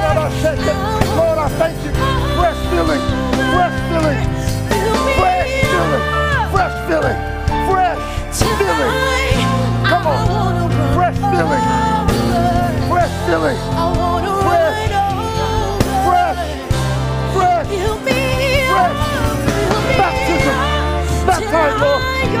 Baptize, Lord. Baptize. Baptize, Lord. Baptize, Lord. Fresh filling. Baptize, Lord. Baptize, Lord. Fill me up till I overflow. Fresh filling. I want to run over. Oh, revelation. I want more revelation. of you. I Spirit of wisdom. Spirit of wisdom. Precious. Holy Spirit precious, precious, precious, precious, precious Holy Spirit, precious Holy Spirit, feel, feel God, yeah, feel God, feel, feel, feel Lord, feel in the name of Jesus, fresh wind, yeah, yeah, yeah, yeah, fresh wind, fresh wind, fresh wind, fresh wind, fresh wind, God, fresh wind up Renewed strength, Father. I Renewed strength in the name of Jesus. Fresh wind. Fresh wind. Fresh wind of your spirit. Fresh wind. Fresh wind to receive. We receive, Lord. We receive. We receive, Lord. We receive fresh. Fresh wind. Fresh wind. Fresh wind. Fresh wind. Fresh wind. Fresh wind. Fresh wind. Fresh wind. Fresh wind. Fresh wind. Fresh declaration. Boldness. Boldness for the ministry call. Boldness. Boldness. Boldness, God. Fresh wind. Fresh wind. Fresh wind. Fresh wind. Lift your hands to receive. Open your hands. Lord, I thank you for not only opening her hands, but I thank you for opening her heart in the name of Jesus. Lord, I pray that you will reward her disappointment has buried. I thank you that disappointment will be washed away in your glorious appearance toward her. In the name of Jesus. Lord, Christ be revealed in her in the name of Jesus.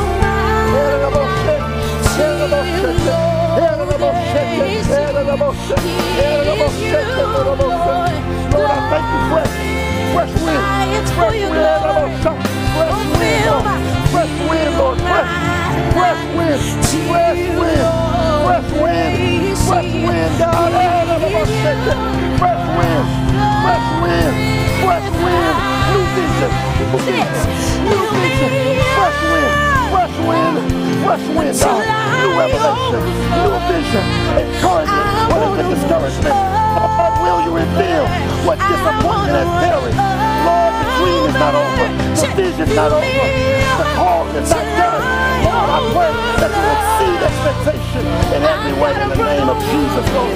I thank you, I thank you, I thank you, God. Fresh wind, fresh wind, fresh wind, fresh filling, fresh filling, fresh filling, fresh filling, fresh filling, fresh filling, fresh filling, fresh filling, fresh filling, fresh filling, fresh filling, new dream, fresh dream, new dream, new vision, new revelation in the name of Jesus. Lord, I thank you for the healing, the supernatural healing of his heart. I thank you for restoring what disappointment has buried. I pray that you would exceed expectation in the name of Jesus. Now, Lord, now, Lord, renewed strength, renewed strength, renewed strength. Open door of opportunity, wisdom to know which door to walk through. In the name of Jesus, wisdom, wisdom, wisdom, divine wisdom, and peace, peace, yeah, peace, peace to the storm, peace to the storm, peace to the storm. I thank you for open doors of opportunity. I thank you for wisdom to know which one to walk through. I thank you for peace in the process as you overwhelm your daughter with delightful things. For every tear shed, I thank you for a new harvest. For every struggle, I thank you for a new day. Weeping may endure for a night, but joy comes in the morning. I thank you for joy. Lord, yeah, I thank you. I thank you, God, for the reclaiming of the mantle. I see the Lord causing a mantle to fall afresh on you from heaven. The best years of your life, the best prayers that you pray are not behind you, but they're before you. God says that there's a mantle falling from heaven, a fresh mantle, a fresh mantle. He said if you'll take it, if you'll take it up, he'll do more than you imagine. In the name of the mantle fall, in the name of You never never stop. Mantle, fall, fresh mantle, fresh mantle, in the name. I thank you for strength. I thank you for resilience. I thank you for fortitude in you, Father God. I thank you for divine wisdom. I thank you that he will not be pulled to the left and to the right by the temptation that have been prevalent, Father God. I thank you that you'll give him the strength to run a new and a glorious race in the name of Jesus. Fresh wind, fresh wind, ah, fresh wind of your spirit in the name, name of Jesus. Lord, I thank you for your hands. Your hands. The Lord, the Lord says, you've walked people blessed, and you've been their cheerleader your entire life. God says, I'm going to do something in your life that's going to cause people to cheer for you. Lord, do it fresh wind in the name of Jesus. Yeah, yeah, yeah, yeah, yeah. Yeah, yeah, yeah. Yeah. They're going to rejoice. They're going to rejoice over what God does with you. Come on, lift up your hands. Bless the Lord. Just take a few more seconds to bless the name of the Lord. Bless his holy name.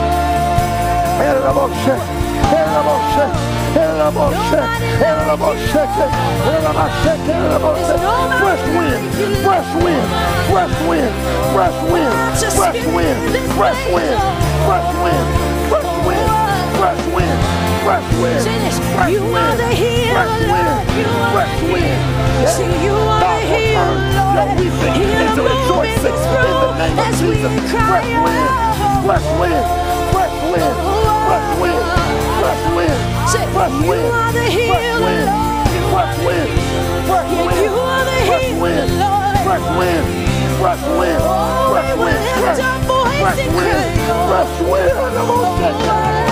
fresh wind, Say fresh this, wind. you are the answer. Lord for you. That's this in the face of thank you for wisdom. I reclaiming the boldness of fresh wind, fresh in the name of Jesus.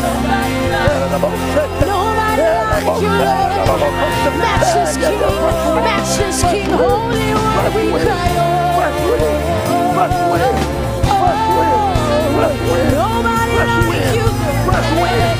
Yeah, yeah, fresh you. wind, fresh wind, fresh wind, fresh wind, fresh wind, fresh wind. Healing God, healing God, healing God. Joy unspeakable, joy unspeakable. Lord, I thank you for bringing into order everything that kept her up at night. I thank you now for fresh wind of your spirit. Lord, I thank you. I thank you. I thank you for fresh wind. I thank you. I thank you. I thank you. Others didn't see it, but you saw it. You saw it. You saw every pain. You saw every tear. In the name of Jesus, Lord. Now you're restoring. Now you're restoring. Now you're restoring. Now you're restoring in the name of Jesus. Fresh wind. Fresh wind. Fresh wind. Fresh wind. Fresh wind. Fresh wind. Fresh wind. Fresh wind. Fresh wind. Fresh wind. Fresh wind. Fresh wind. Renewed call. Fresh wind. In the name of Jesus. Fresh wind. Revitalize. Renew. Fresh wind. God. Fresh wind, Lord, in the name of Jesus. Fresh wind. Fresh run wind. over. New leaf. Healing, Lord. Fresh wind. In the name of Jesus. Fresh wind. Talk like you. Fresh wind. on, say, feel Fresh me, wind. Fresh wind in the name of Jesus. Fresh wind. Breathe, God, fresh. Breathe fresh. over. Breathe the week.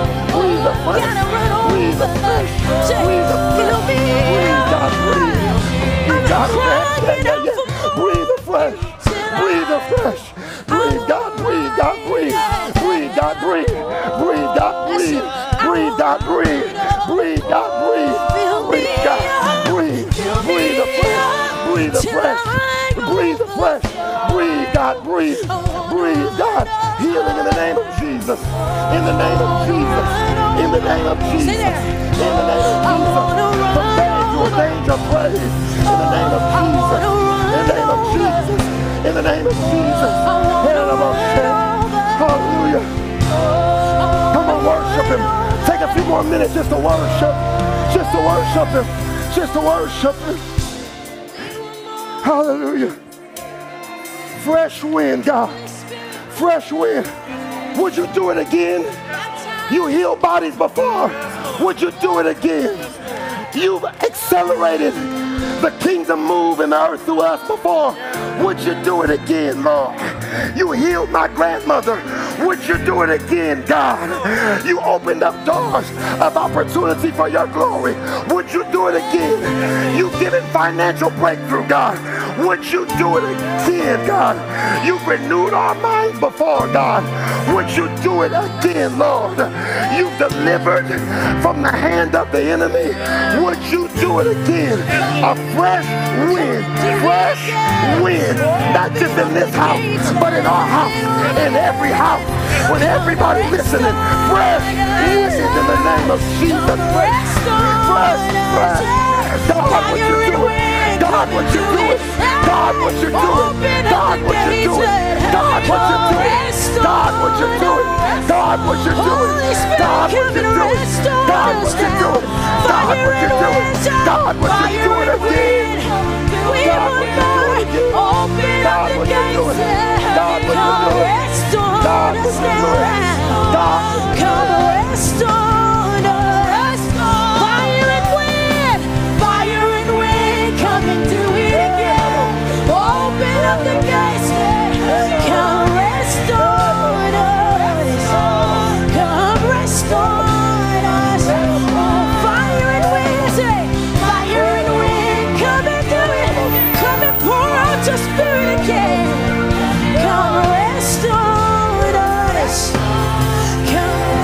The Lord, yeah, the Lord said, there's a blessing for the lingerers. There's a blessing for the hungry. Those who hunger and thirst for righteousness' sake shall be There is a blessing for those who will go after his presence. There's a blessing for those that lift up their voice and cry out for more and open up their hearts and say, God, I won't stop until I'm filled with fullness. There's a blessing like Elijah. The Bible said when Elijah went to heaven, there were a host of prophets that walked with him, but only one got the double portion of his spirit. It said because he stayed with him to the end. He was willing to linger longer than the others. He wasn't there for convenience. He wasn't there for comfort. He was not there for acute service. He said, whatever it costs me, for however long I have to be here, I'm going to be here till the end. And when Elijah got to the end, there was only one person there, Elisha. The mantle fell from heaven, and he got everything that he wanted and then some. The Bible says that Jacob wrestled with God until the cool of the day. He wrestled with God all night long. He said, I'm not going to let you go until you bless me. He wrestled with him. He said, I'm not going to let you go. I've been trying to apprehend you. I've been trying to catch you my whole life. Now that I have you, I'm not going to let you go until you bless me. God sent me in this place to declare the blessing for those of you who lingered behind to wait is that you got him now. You got him now. You have him now. I need somebody who won't let go until they get everything that they came for. How do you hold on? You, you hold on by worshiping Him. You hold on by opening up your heart. You hold on by saying, God, not my will, but your will be done. Hold on to Him just for a little while longer. And there is a second blessing. There's a second blessing. There's a double portion for the people that will hold on to Him and not let go. God, I thank you. Lord, I thank you. Lord, I bless you. Lord, I can't do this without you. I can't do this disconnected from the source. In you I live, and you I move, and you I have my being. I've counted all as dung, counted all as worthless for the excellency that I found in you. God, I sold my inheritance. I sold my dreams a long time ago to put my life in your hands. Now, God, I ask that you take me up, that you take me up again as I hold on to you, hold on to me, and don't let me go as I hold on to you. Lord, I pray that you bring me into the place that I saw when I was a child. I pray that you bring me into the place that's been prophesied over my life. I pray that you bring me into a higher height, into new glory in the name of Jesus. I'm hungry for it. I'm hungry. I'm hungry, God, and nothing else will do. Nothing, nothing else will do. Nothing else will do. God, I need your filling. Hallelujah. God, I need you. I need you. I need you. I can't do it without your presence. I can't live without your presence. I can't leave this great people without your presence, God. I can't see from my future without your presence.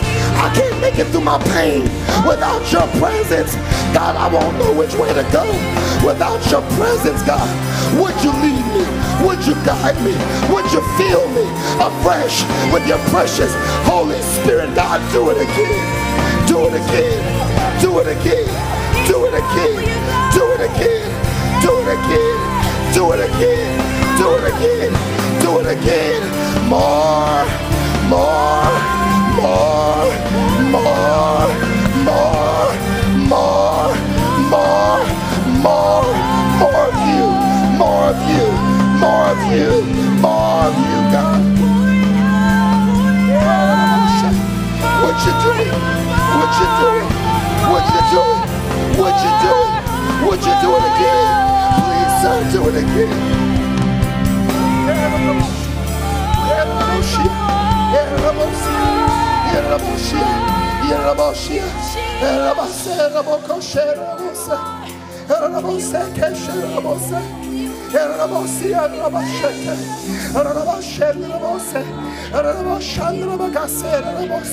God, would you open the windows of heaven?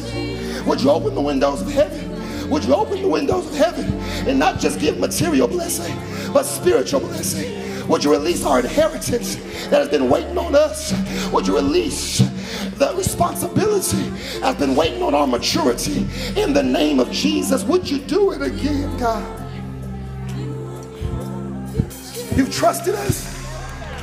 You've trusted us to steward past moves. But God, we've become uncomfortable.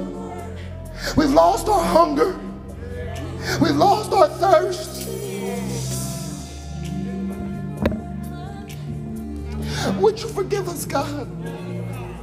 Would you forgive us? As your people turn towards you, may you move the vain things that have preoccupied us and fill every void with your presence. Oh, Lord, we turn toward you. We hold on.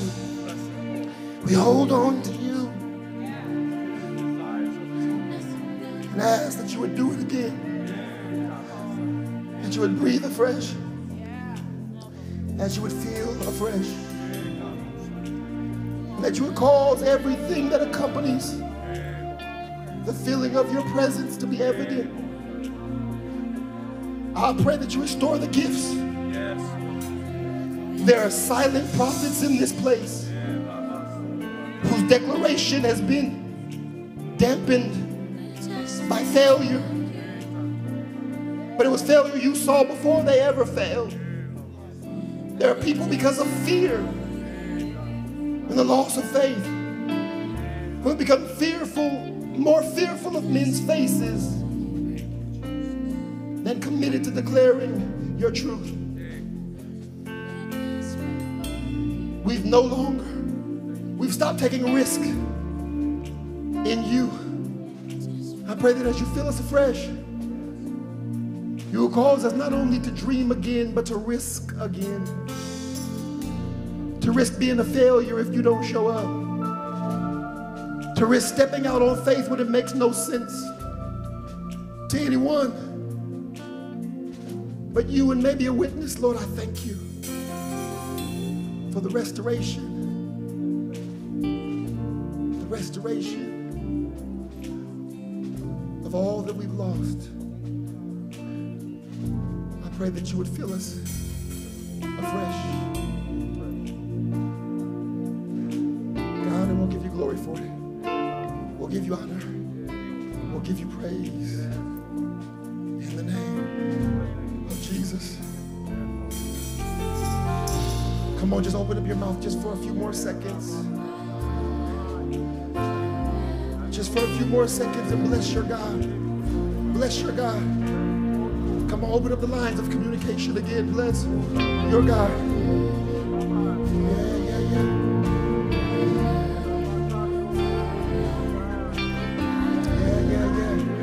Your own mouth. Open your mouth. Bless him, bless. Connect to your source. Connect to the source. Connect to the source. Over. Over again. Over again.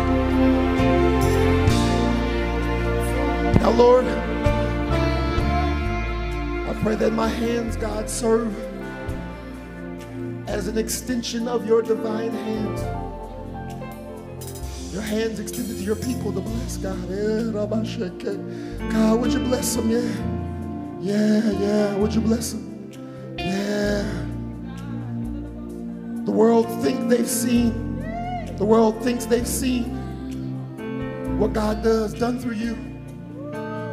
There'll be nothing lost. And I can't even say God's going to restore a river of flow through you to the nations of this world because he's not restoring anything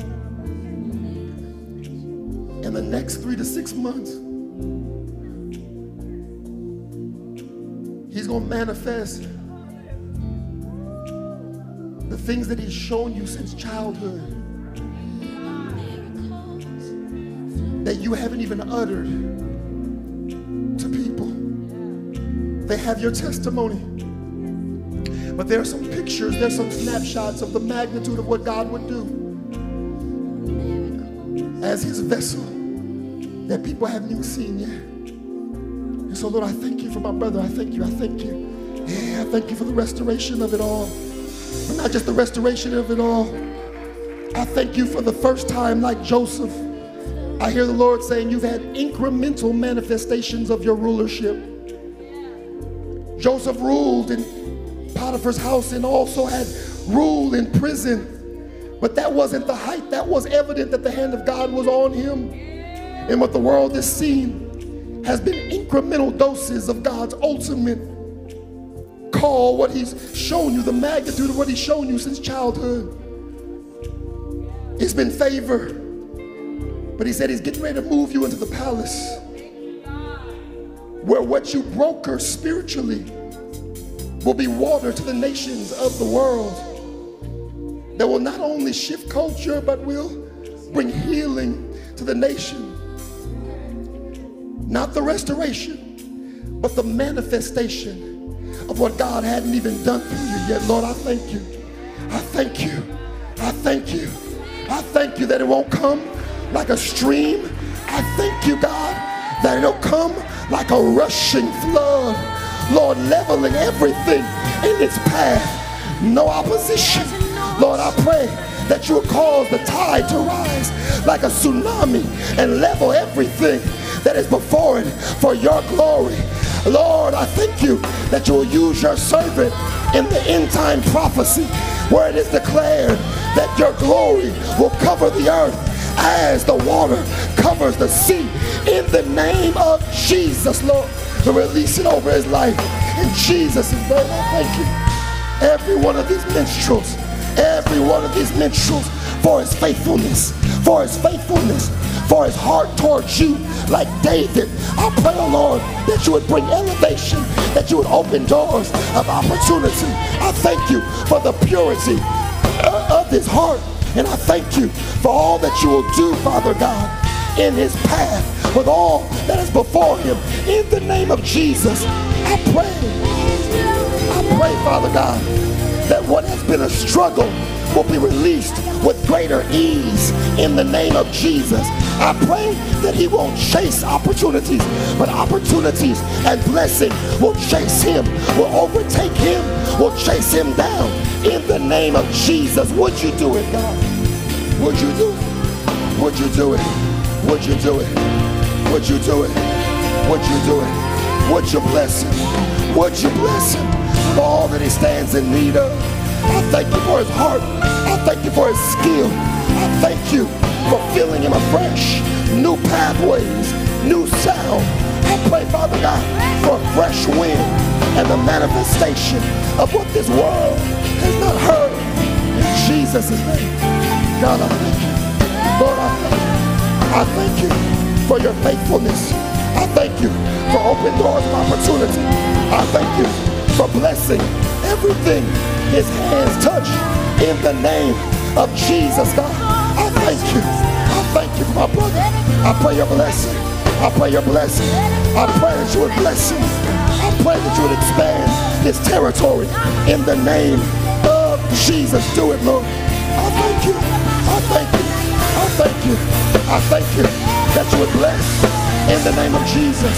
Release new patterns, new ways, new sound waves in the name of Jesus.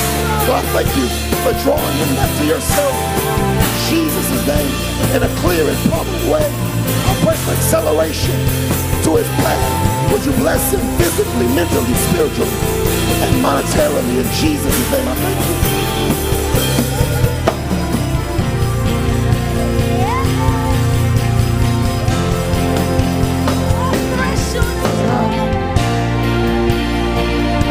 Lift your hands. Lift your hands. In fact, do this. Just put your hands with your palms up in, in a posture to receive. For some of you, they're there. It comes in different waves in different ways. But sometimes God wants to show you that it doesn't always take the elevation of my voice or the passion. Though we don't frown upon it, we receive it all. Sometimes it just comes through request. Just lift your hands. And I want you, nothing specific in mind, because your mind's too limited for all that God wants to do. Sometimes we need to pray prayers that are bigger than ourselves by entrusting ourselves fully and completely to the Lord. Some of the greatest blessings in my life did not come, and I know in this day and age they tell you you have to be specific and you have to name it. If you don't know where you're going, God won't do it. Well, I didn't know where I was going half the time. But there are seasons in my life where I just lifted my hands to the Lord. I said, God, would you give me everything that you have for me? Would you give me? Would you give me the things? Would you give me the things that my faith is too weak to believe for? Things, Carl, that I wouldn't even ask Lamar. Sometimes you just have to say, God, I want everything you have for me. Because it bypasses your atrophied faith and goes directly to the source. I, I want to pray a big prayer. And what I noticed about big prayers is they don't always have to be very specific. Jabez just said, God, I want you to bless me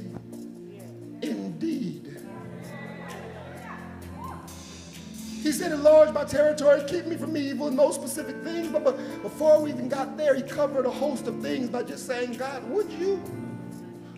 Would you bless me indeed. I don't know what you're going to put in it, but I pray that you would enlarge my territory. Just whatever I was thinking, Lord, I say bigger. I say bigger, God. Bigger, Lord. Lift your hands to the Lord and pray a big prayer. Ask Him to give you all that He's had in mind for you. since before the foundation of the world. And ask Him to allow you to believe that you can receive it when it comes. That's it. I can't do that for you, but I need you to pray that prayer. I need you to pray that prayer. Come on, ask Him. Would you do it, God? Would you grant to us everything that you had in mind for us? Would you give us the things that are beyond us? Things we're too ashamed to ask for? Things we may be too embarrassed to ask for? Would you be kind enough to release to us the things we don't even feel we deserve? Yeah, Lord, do it. Yeah, do it, God. Yeah, do it, God. Holy Spirit. Yeah, receive it, people of God. Receive it, drink it in. Receive it. Receive it. Receive it. Receive it. Receive it. Yeah, yeah. Receive it. Receive it, receive it, receive it, receive it, receive it. Receive it, receive it. No, we don't want to guard your heart. I want you to open your heart. Yeah, receive it. Open it. Open it. Yeah, open it, open it, open it. Open it. Open it. Open it. Open yourself. Open it. Receive, receive. Receive, receive. Drink afresh. Yeah, man. Drink afresh. Yeah, there it is. There it is, Lord. Drink afresh. There it is. Yeah, there it is. Mm. Yeah. Ain't that sweet? Yeah, his presence. The presence of the living God. The presence of the living God. Drink it. Drink afresh. Woo. Woo. Yeah, yeah, yeah, yeah, yeah. Yeah, yeah, yeah, yeah. Yes. Drink it. Yeah, there it is. Let it wash over you. Let it wash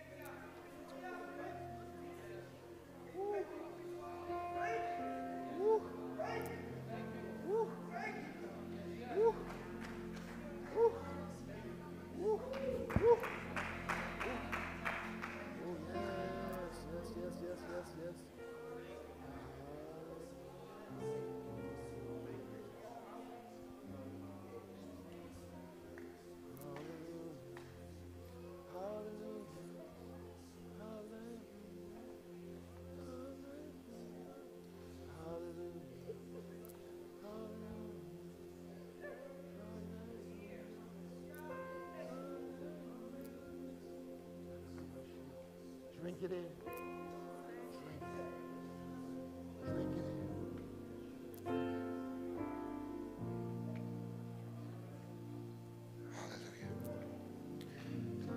God, we thank you. God, we praise you. We thank you. Claire, your presence is real. Give us all you have.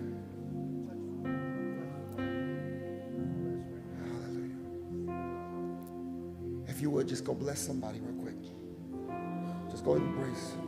Embrace someone. Just embrace somebody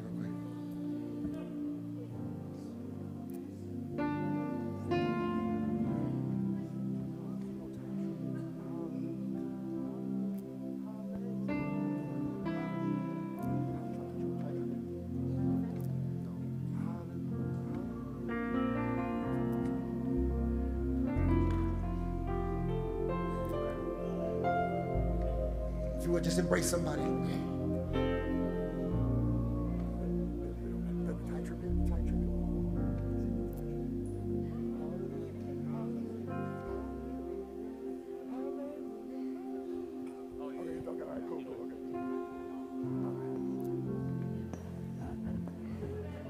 Just let his sweet presence rest. We don't have to end on a high. Listen to me, just right here is fine.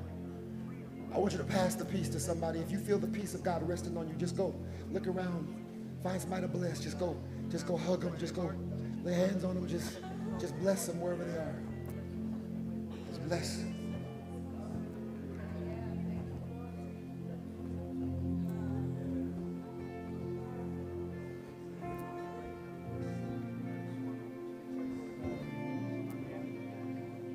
We give you all the glory. We worship you.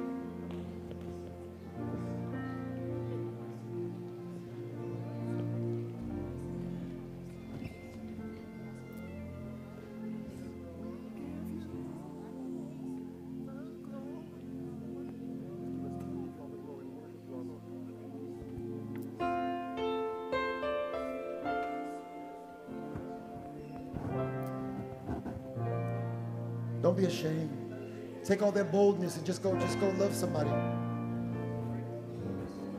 Just go love somebody. We're gonna get out of here. Just let the sweetness, the sweet presence, the sweet presence of Holy Spirit just come on. If you have the, just let it rest on somebody.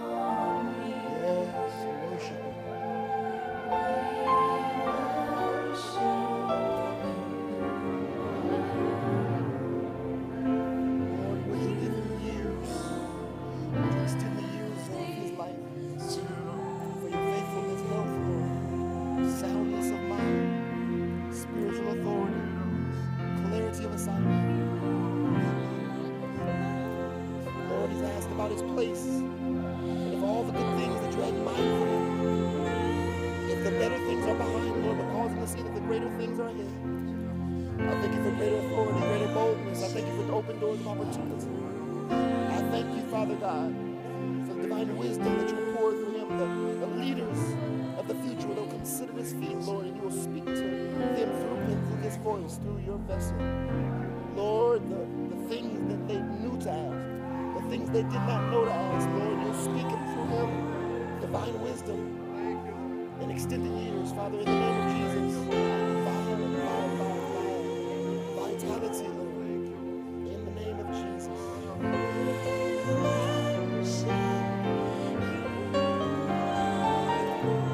Let's stand together. Come on, just stand if you can. If you're able.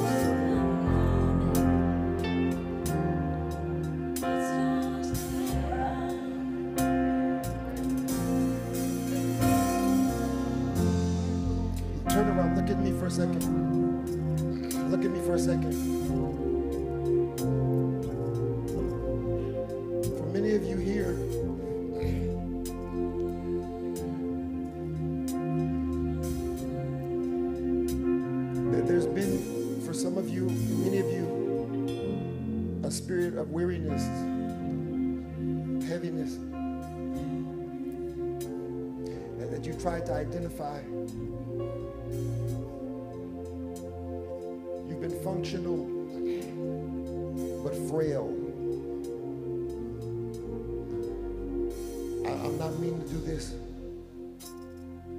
but, but God's seen your faithfulness. God's seen your faithfulness.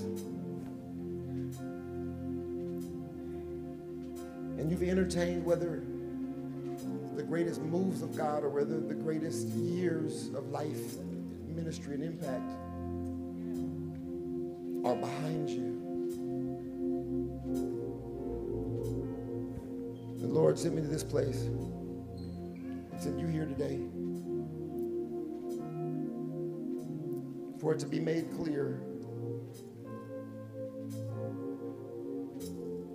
that there was a felt for you deficit, but it was not to mark your decline, but rather to highlight your destiny. There's a passage in Deuteronomy where God speaks to his children. I've humbled you and tested you to see what was in your heart. He's humbled you, he said, and tested you to see what's in your heart. Because in these times of challenge, the contents of our heart are, they come to the surface. Not for God to disqualify, but for us to see and for adjustment and recalibration to be made. But he says this deficit again is not for you to lose ground, but is to highlight what I have ahead. He said, I've humbled you and tested you to see what was in your heart. and How? He goes on to say it this way. He says, I've humbled you by causing you to hunger and then feeding you with manna. This hunger is not like a hunger for you, God, I'm chasing after you.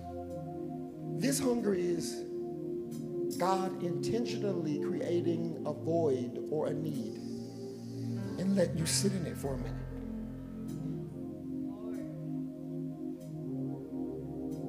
You sit there until what's superficial begins to fall off. You sit there until false humility falls off. You sit there into all the niceties fall off. When I used to practice, train with, with CJ, MMA, another boxing coach, they would wear you low. They would wear you out till you had nothing left with conditioning. And that's when they would start the boxing lesson.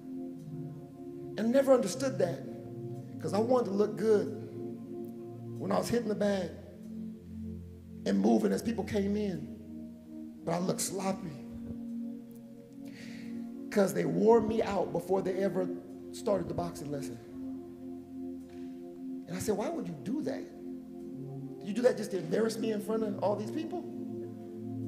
They said, No, but, but when you don't have anything left, you're forced to depend on your form. When you don't have anything left, when you don't have any strength left, you, you can't use your strength to just muscle through this. You can't throw your arm out just to be pretty. When you have nothing left, you, that's when your skill emerges. That's when what is real and accurate manifests. He said, I've caused you to hunger by putting you in a deficit position where you feel worn out and you have nothing left to cause you to see that man does not live on bread alone, but that every word, but every word that proceeds out of the mouth of God. This wearing down does not mean you've lost ground or you're weaker than you've ever been. The Lord said, This is preparation for what I'm getting ready to feed you with. The vision I'm getting ready to feed you with. The clarity I'm getting ready to give you. The renewed boldness for my ways. The new hunger that I'm going to fill you with. He said, This deficit was not to kill you, this deficit was a setup for me to give you more. And the reason that the Lord put it on my heart to have you come to this front of this stage, as clearly as the Lord said to Minister Nero that He's given her a double portion. I don't know what's ahead. I don't know what lies ahead. I have some things in mind. But what God's getting ready to do and where He's getting ready to take me, I cannot hold down this house. But we have to hold down this house.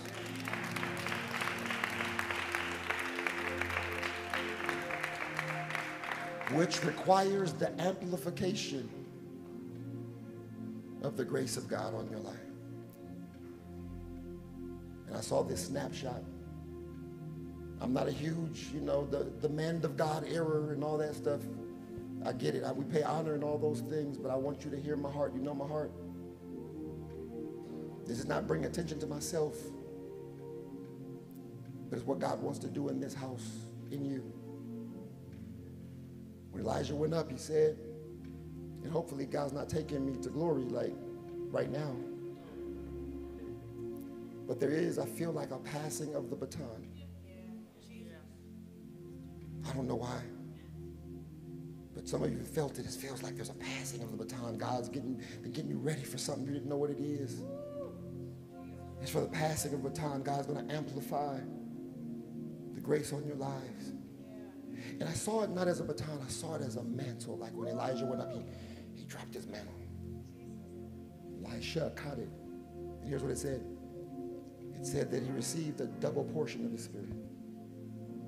It's very interesting that you receive a, a baptism of the Holy Spirit, but there's also, I was said, a baptism in a connection, divine connection in leadership with leaders. God is going to use you in this place. And I mean this in all humility as extensions of my pastoral leadership here. And that is not an elevation of me, that is a lowering of me to elevate you. He said, You'll be extensions of my pastoral leadership in this place. And if it's done real good, what does it mean? It means they won't look for me. Jesus said, It's better that I go away. There's certain things they won't look for me for anymore if you carry the grace to handle it. There's certain answers that I will not have to give. If God would honor this last prayer before we go, as God would give you a double portion. Alicia, I've seen you in the spirit. I've seen you with your heart yielded toward God. And I believe that God can do more through you. than anything you've seen him do through me to this day.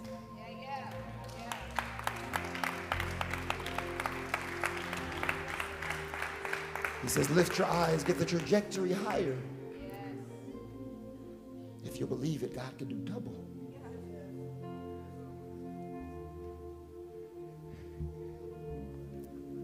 God says he can do double. There have been double you've been looking for in your faithfulness. And with all that God's blessed you with, there are nights where you say, but this is not everything. And God said he ain't finished. He's going to restore the years. And not even the locust ate up. He's going to restore the years you thought the locust ate up. He's going to restore stuff that has been buried in disappointment that you haven't uttered to anybody but God. He's going to amplify your voice and your reach. When I prayed for you, I saw, I saw you like a sage. I saw the next generation coming and sitting at your feet for divine wisdom, for divine revelation, for answers that they knew to ask, and questions that they didn't even ask yet. God's going to give it to you, and you're going to speak it to them, believing it's Him. When I said the prophetic, He's fanning into flame for many in this place, the prophetic. There's been this tension. There's been this tension. And, and, and he wants to set free the prophetic in you set you on fire with the prophetic. When we had the move of God and bodies were being healed and the revival broke out years ago, 10 years ago or so, there were cessationists that walked in there. There were professors that walked in there. The people that didn't even believe in the baptism of the Holy Spirit. They walked in for prayer. We didn't teach this. We didn't pray. They got halfway down the aisle, fell under the power of God, got up speaking in other tongues, the tongues that they, as professors, didn't even believe. The Spirit of the Lord poured out there. Our church doubled in size in three, four months. And I remember this, Lord, we, we cried out, we sat there and we just cried out for more of God, more God, more of you, more of you, more of you, more of you, more of you. And, and, and you and, and, and everyone there, it, the, the glory was so heavy, the priest could not stand the minister. You all fell into the power of God. You were the first one that got up. You stood up it was the first time in years in that context that we heard you stood up and in the voice, as, a, as, an, as an extension of the voice of the Lord, you said, The Lord God says, Here is all that I will do. And you begin to share things. And listen, everything that you shared that day, everything, marked the movement from that day forward as God poured out his spirit for months, every day. Yeah, yeah. Yeah. Hallelujah. Hallelujah. But here's what happened it was such a powerful move of God that every force attempted to suppress the purity of that move and the strength of that move. And it's the first time I've known you as a teacher, I've known you as a man of God, I've known you as a man of integrity, but that day I came to know you as the prophet of the Lord. God said He's going to restore your voice. He's going to restore your strength. He's going to restore your boldness. You're going to believe when it comes to mind as from the Lord. And you're going to speak things to people that you had no way of knowing unless it was revealed by God. You're going to give them secrets that they've uttered to nobody but the Lord. And not only that, but the Bible shows us in the Old Testament when Israel was going against the Aram was fighting against Israel, Elijah caused Israel to evade the, the traps that the enemy had set, so much so that the king thought that there was a traitor in their camp. And before he killed, looked for a traitor to kill, someone came to him and said, No, there's a prophet by the name of Elijah, king, who tells the children of Israel the very words that you utter in your bedroom. What was that for? It was divine wisdom from God to help navigate the people of God around the traps that the enemy has set. The Lord said, Your prophetic declaration will not only be things to come, the secrets of men's hearts, but it will be to the salvation to save the people of God from the traps that the enemy has set. He's getting, he's opening your eyes. I see like Saul when the scales fell off of his eyes. You've been saved, but there are, there's scales falling off your eyes. And when your eyes open again, there'll be a greater measure of discernment. You'll be able to see, like the watchman on the wall, the enemy coming from a mile away, to be able to sound to the troops. Be, get ready for battle. Your words will safeguard the lives of people. Your words will safeguard households. Your words will heal marriages. Your words will bring wayward children home. Your words will keep people. I see business leaders coming to you for prayer for what they should do next, and God beginning to speak to you through visions, wisdom, and revelation, partnerships that they're to look out for, people that are in their camp that are sabotaging progress. God will open your eyes as the scales fall off to the attacks of the enemy, the traps, the tricks, the pitfalls for his glory and for the advancement of his body.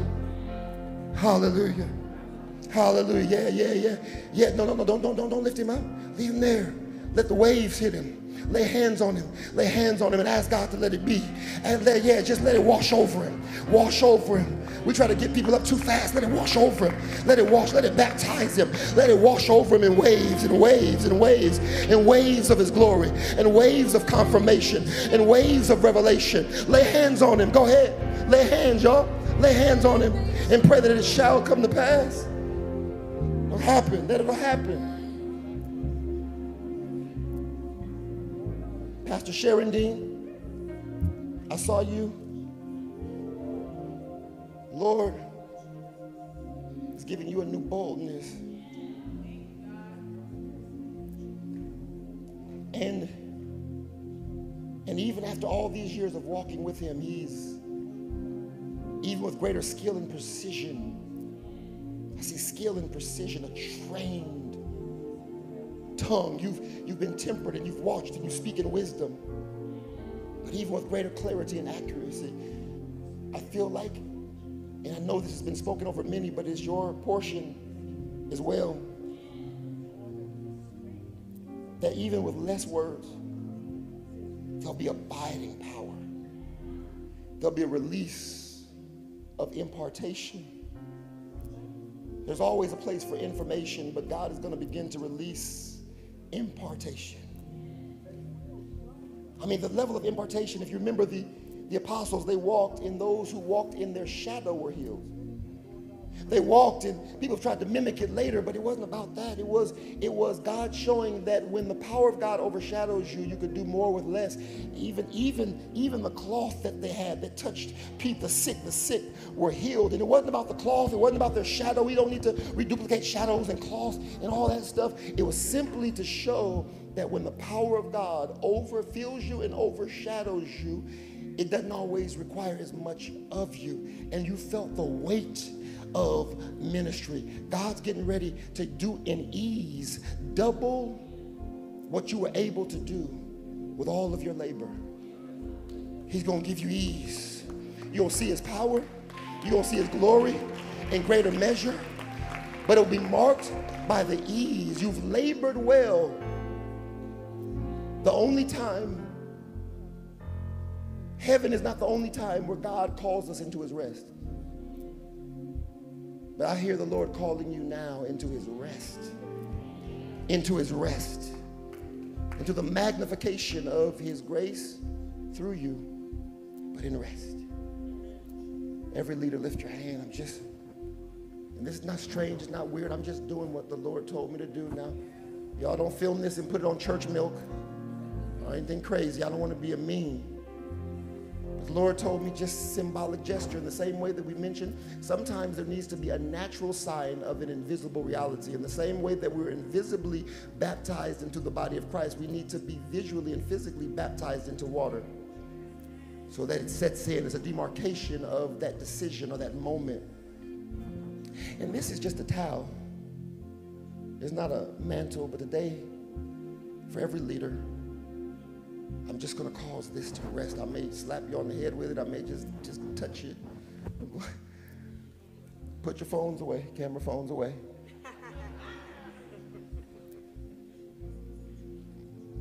But I want you to remember this day, if you're open, that you're opening, and this is all you're asking, is that God would give you a double portion. And I'm not intimidated by it, by what you've seen in me, that He would do more in you. It'll look different. I want you to receive that. I want you to believe that. I want you to believe that the move I just talked about through this house is not behind us. Trinity, I don't, I don't believe it's a mistake that God's orchestrating all this. I, harmony, it's no mistake, man. We feel no mistake that we're gathered like this. God, in unique ways, is bringing people that have that have experienced and encountered moves of God various places in the earth. I don't think I think this is just the beginning. This is the United States, but He's getting ready, harmony, to bring some folks that they're gonna come. They're gonna just God's gonna begin to call people the West Coast from Africa and from because they need to see some of what we've seen, man.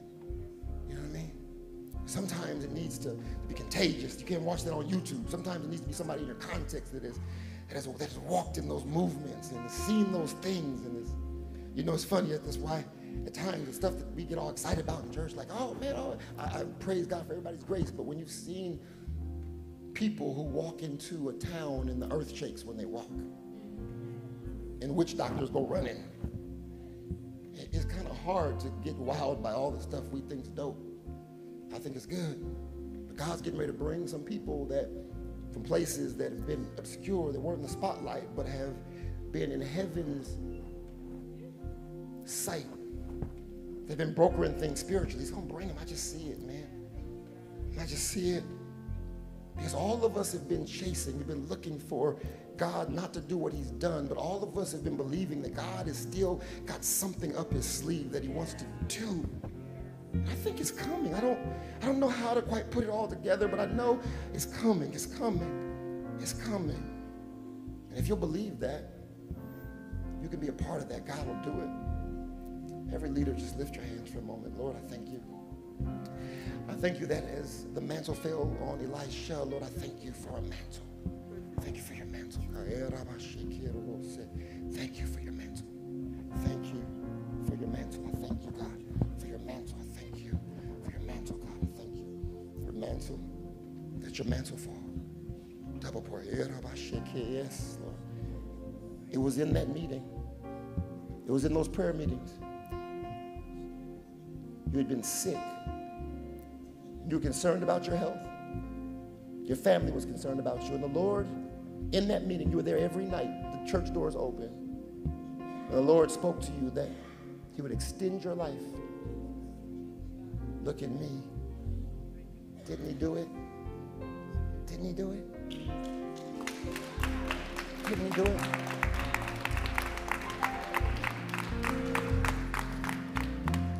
You've seen people that prayed for you and were healthier than you were that are no longer with us. And here you are with hands lifted to the Lord. Here you are with health in your body. Here you are with a praise in your spirit over a decade later.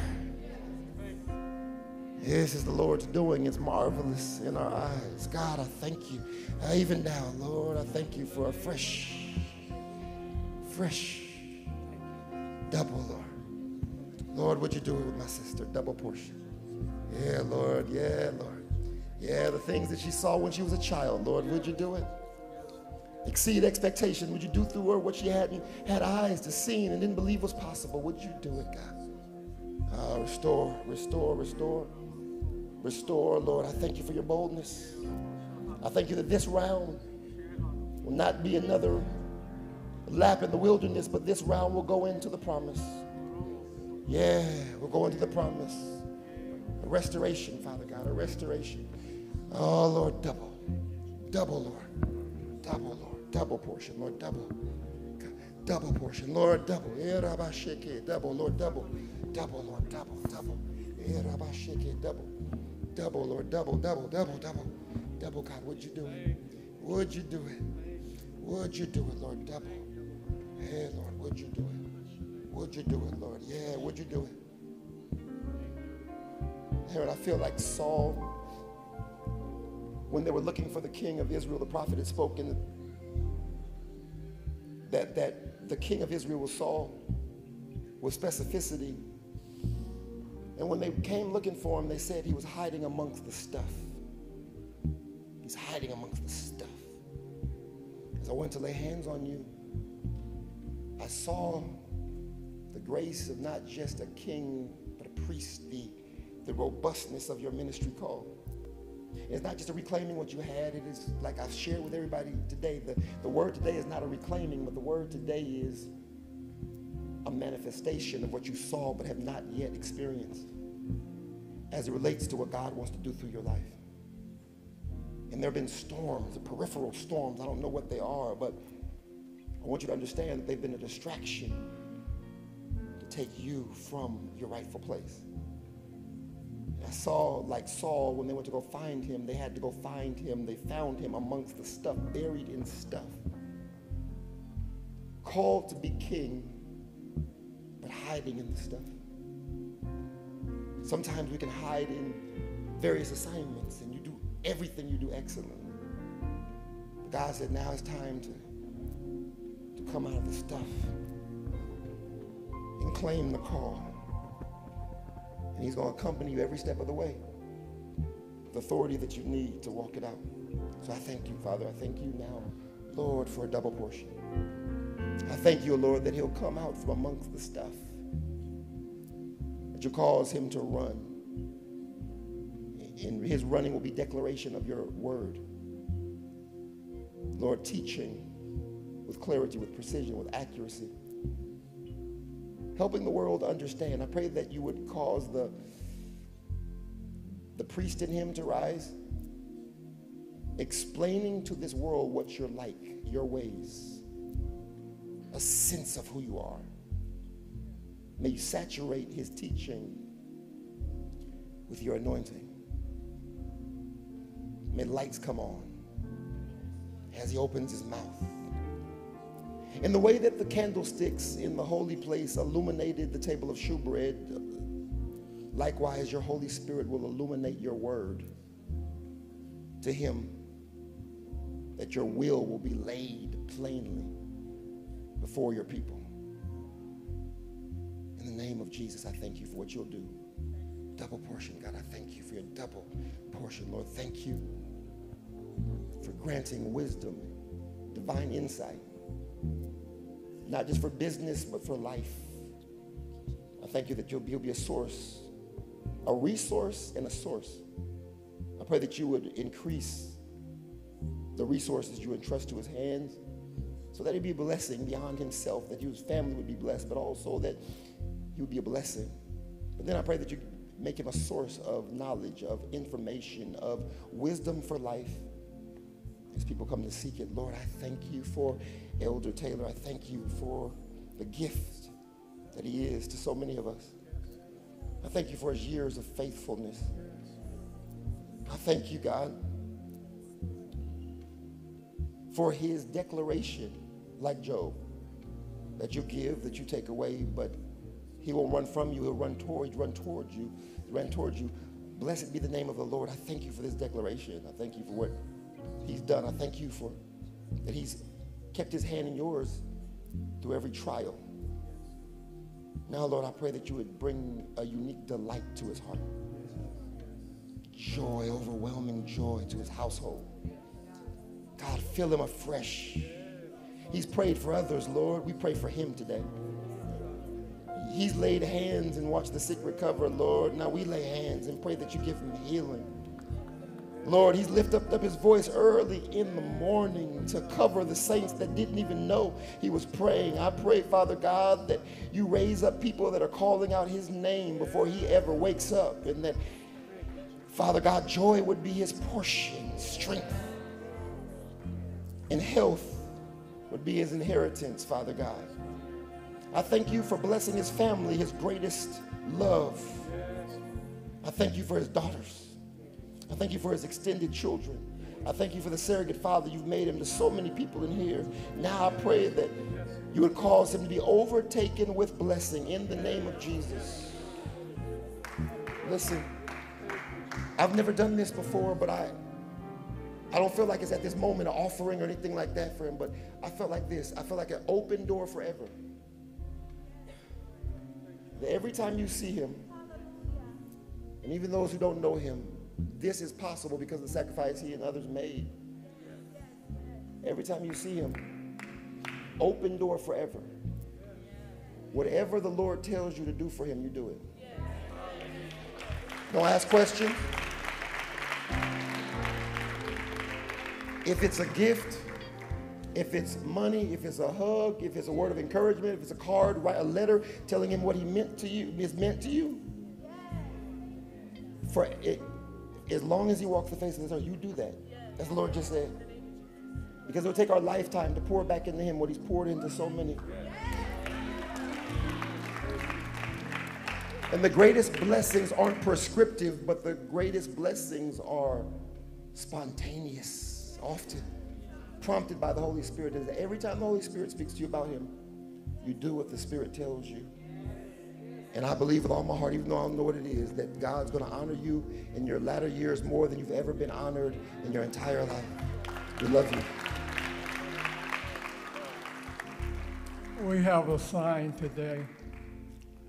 We have Daryl and Kathy who love this church. He loved your grandfather. And when they went and moved away, every anniversary, you would see Daryl, mm. you would see Kathy. So it's definitely a sign of a person, of people who love this church. So I thank God to see them today. And another thing was your grandfather married us, me and Dolly, one Sunday, and Gerald and Kathy the next. Praise the Lord. Wow, amen.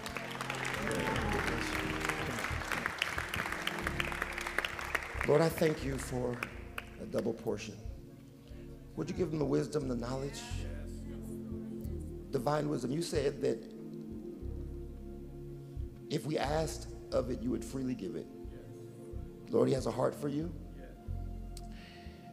God, He has integrity. He has a work ethic. But would you give him what he lacks to fill the post that you've assigned him to the fullness?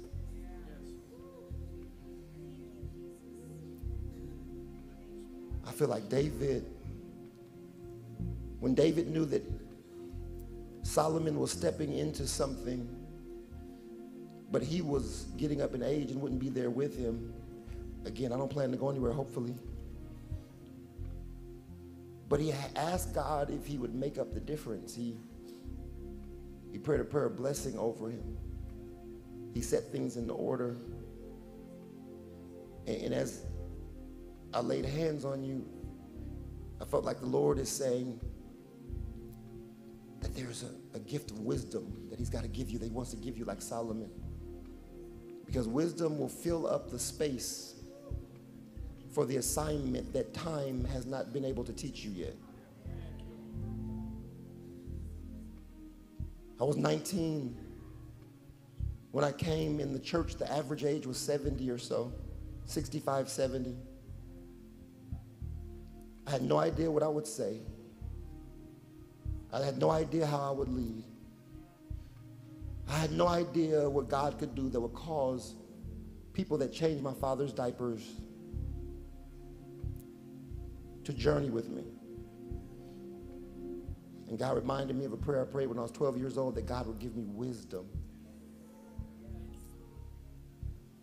And his anointing and wisdom has closed, closed the gap what experience I didn't have time and experience to know yet.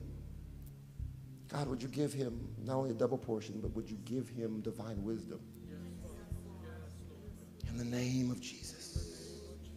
In increasing measure. God, I thank you. I thank you, Lord. I thank you. A double portion, God. A double portion, Lord. Would you do it? God, a double portion, Lord. Would you cause him to see himself as you see him? Would you cause him to see the strength, authority, and the power as you see it? Would he no longer be a grasshopper in his own sight, Father God, but may you show him the mighty warrior that rages on the inside. Cause it to be evident. Cause him to rise up in his own way and release to us what you've given him. And would you bless this, his mother? We thank you for her faithfulness. We thank for you for her as a, as in many respects, a village elder. We thank you that she's mothered and nurtured so many in this place. I see you now nurturing her with the same nurture she's given. Lord, there are times where you give your masculine characteristics, the Lord strong and mighty, the Lord mighty in battle. But then there are other times where you give your feminine characteristics. You say, as a mother, comforts her child, so I'll comfort you. As a hen puts her wing over a brood, Father, you say you will do the same to us. And so now, Lord, we release that over her life. May she feel the comfort of you, the lover of her soul. And may, Lord, you cause nurturers to arise, young women and old women alike, that will come with encouragement, that will come with resource as you put it on their heart, that will come with open doors of opportunity, that will invite her in to put on display the wisdom that you've entrusted to her. Lord, I thank you that she will be loved on in the way that she's loved on so many, a double portion to her, Father God. I thank you. I thank you for this, your daughter. Lord, who's journeyed with you for years. I pray for divine clarity. I pray, oh Lord, for you to touch every part of her, the recesses that are even out of her sight. Fresh life to them, inspiration for the days ahead, new sight of how gifts and abilities come together, come to bear for the advancement of your kingdom, but also the advancement of her and her family's future as well. Pray you cause their entire household. Show them practical things that won't allow them to simply continue to dream about what you've shown, but to, to realize all that they've seen. I thank you for an acceleration of that. I Thank you that you make it clear. I thank you for a double portion. In Jesus' name, I thank you. I thank you.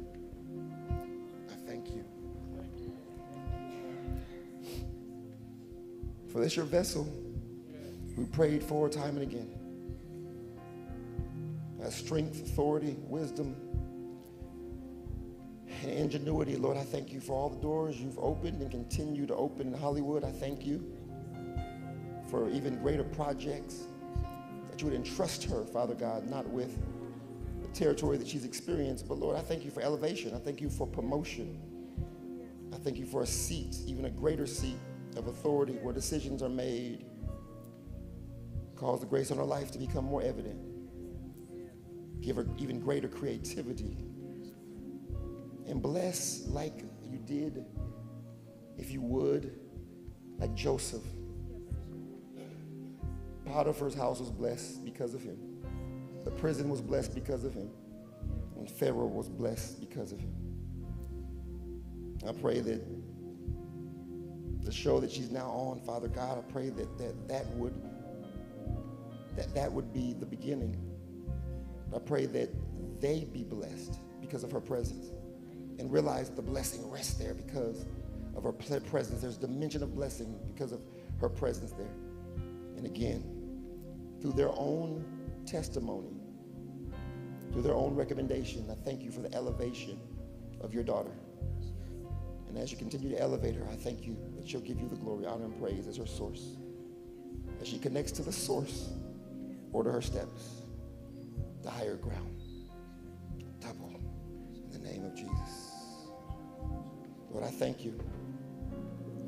I thank you for the journey. Everything was necessary. I thank you for the victories. But I thank you for the struggles. Everything was necessary. Thank you for the abundance. I thank you for the time of lack. Everything was necessary. I thank you for the hurt. I thank you for the healing. Everything was necessary. I thank you for the victories. I thank you for the defeats. Everything was necessary. I thank you for the feeding. I thank you for the starving. Everything was necessary. I thank you for the confusion. I thank you for the clarity.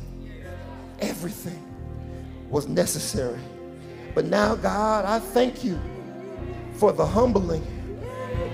But Lord, we know the humbling is not the end. You said, I've humbled you to test you and to see what was in your heart so that I could fill you with manna. I thank you for the hunger, but I thank you also for, Father, the feeding. I thank you for the death, but now, God, I thank you for the resurrection in the name of Jesus. Double to your double to your servant in the name of Jesus. I thank you. I thank you, Lord, for double. Double. Lord, his heart's been turned towards you. I pray that you will give him double of all that he has in mind. I pray that you'll bless his business. I pray that you'll bless what his hands touch. I pray that you'll give him the wisdom to know how to expand. I thank you, Father God. I thank you that as he celebrated others, I thank you that this be his time of celebration. I thank you that applause, Father God, he'll hear. I thank you, Lord, that as he shined the spotlight on so many, you will shine the spotlight on him. I hear the Lord saying, It's your turn, it's your turn. It's your turn. It's your turn. It's your turn. It's your turn. It's your turn. Don't talk yourself out of it. Receive it. It is your turn. When you celebrate it, receive it. It's your turn. When God turns people's hearts towards you, receive it. It is your turn. When He brings influences your way, to herald what you've been doing. Receive it. It is your turn. Lord, would you do it for him? Eh, would you do it for him? In the name of Jesus, would you do it for him? Lord, give him double. Give him double. Eh, the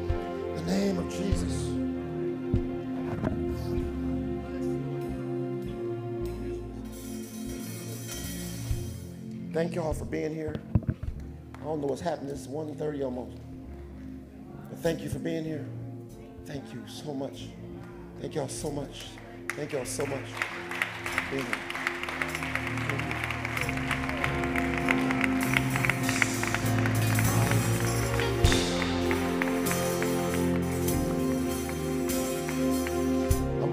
Time that God's going to give you everything you need.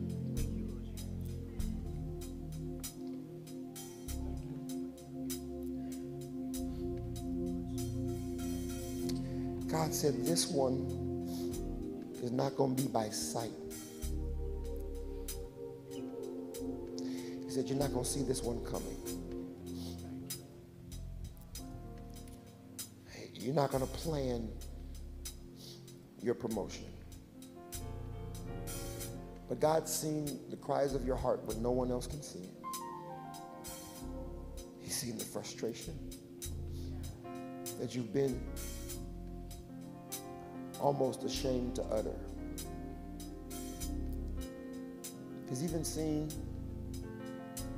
and rightfully so, the disappointments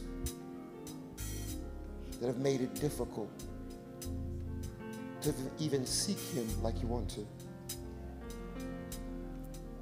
And He can handle it all. But God is going to cause I don't know where it's coming from. I don't know what door is going to open. But as you continue to diligently move forward, He's going to cause you to be overtaken by something unexpected that was the very thing you were looking for. And so, God, would you do this? Would you do this for my brother? Would you do it for the one that has watched so many receive,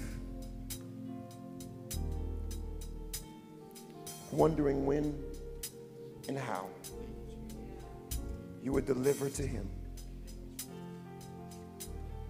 what has been in his heart for years. Would you cause him to see himself like you see him? Would you cause him to see himself baptized into your completed work?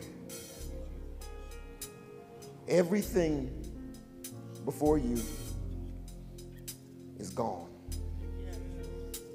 Everything to this moment in time that is not like you is drowned in the baptism into your finished work. He is the righteousness of Christ. Would you cause him to see it? He is a gift from Christ. Would you cause him to know it? For you've given some to be apostles, some to be prophets, some to be pastors, some to be teachers, the equipping of the saints for the work of ministry. Would you make evident his call? Would you create room for his call? Would you create a hunger in people or show him the people that are hungry for the very thing he carries? If you make that connection and bring about his elevation, grant him your wisdom, restore your joy.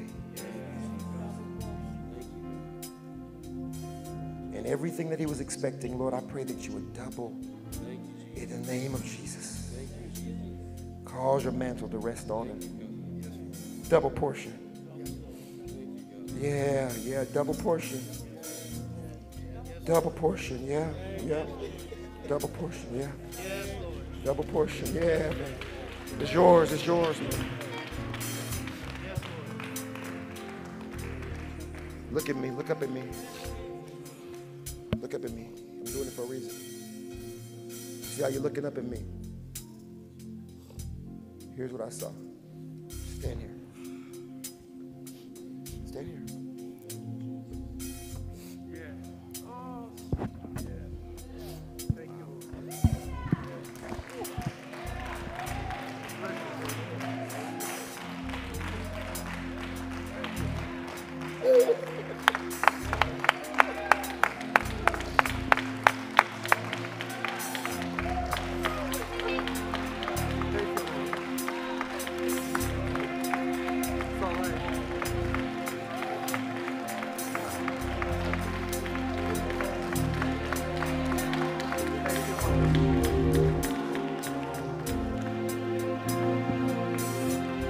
Getting ready to do something through you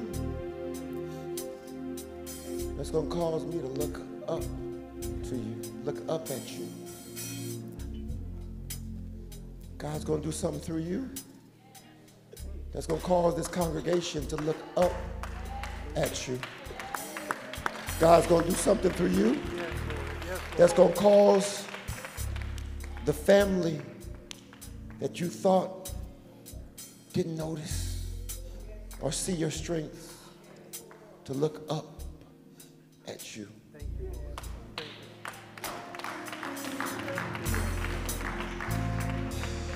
But your biggest question has been would God do something in your life before it was over?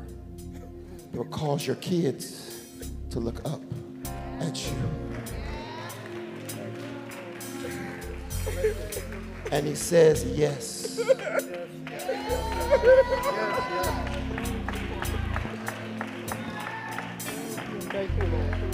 Yes. Yes. Yes. And he also says, It won't be long. Double, God, in the name of Jesus. Double. Double. Double. Double. Double. Double. Double. Double in the name. Double in the name of Jesus. Double. Double. Would you bless him with his hands touch? Would you bless his path, God? Would you crown him with wisdom? Would you bless the words of his mouth? Would you bless the meditations of his heart? May they be acceptable in your sight. O Lord, our strength and our Redeemer. And all those who agree with the prayer and believe God will do it, let me hear you shout, Amen. Amen. And amen. Come on, give God praise where you are. Welcome, Daryl, Pastor Daryl Mitchell, as he closes us out. Hallelujah. Come on, let's stand to our feet. Stand to your feet. Let's bless the Lord for his goodness today. We just experienced a mighty outpouring of the Spirit today. As a man of God was obedient to God, he was obedient to the Holy Spirit to move. I want to say to Antioch today, you're never going to be the same after today. Amen. The people that were filled with the Holy Ghost today, their life would never be the same. And I thank God for the man of God. I don't have time to say all I would like to say. That will come in another time. But his grandfather, his grandmother with my godparents. His sister, I mean, his, his, his auntie, Joanne, Regina, my god sister, his dad, my god brother, Angela, my god cousin. God, I just thank God for them. And I thank God for you for, for, for being here for this man of God, for blessing him. Amen. And today, this ministry going have gone to another level. We experienced the mighty move of the Holy Ghost today. We experienced a mighty move from the word of the man of God being obedient to releasing that. He told you where he came from and where he's at now. And God going to continue to elevate him. And I really appreciate and thank him. Hallelujah. So with that, I'm going to go ahead and pray in the name of Jesus. Father, we bless you. We praise you. Lord, we thank you for the move of the Spirit today. We thank you for your word that went forth today. Lord, I, we thank you for the people who will fill with the precious Holy Ghost. Lord, their life will never be the same. In the name of Jesus.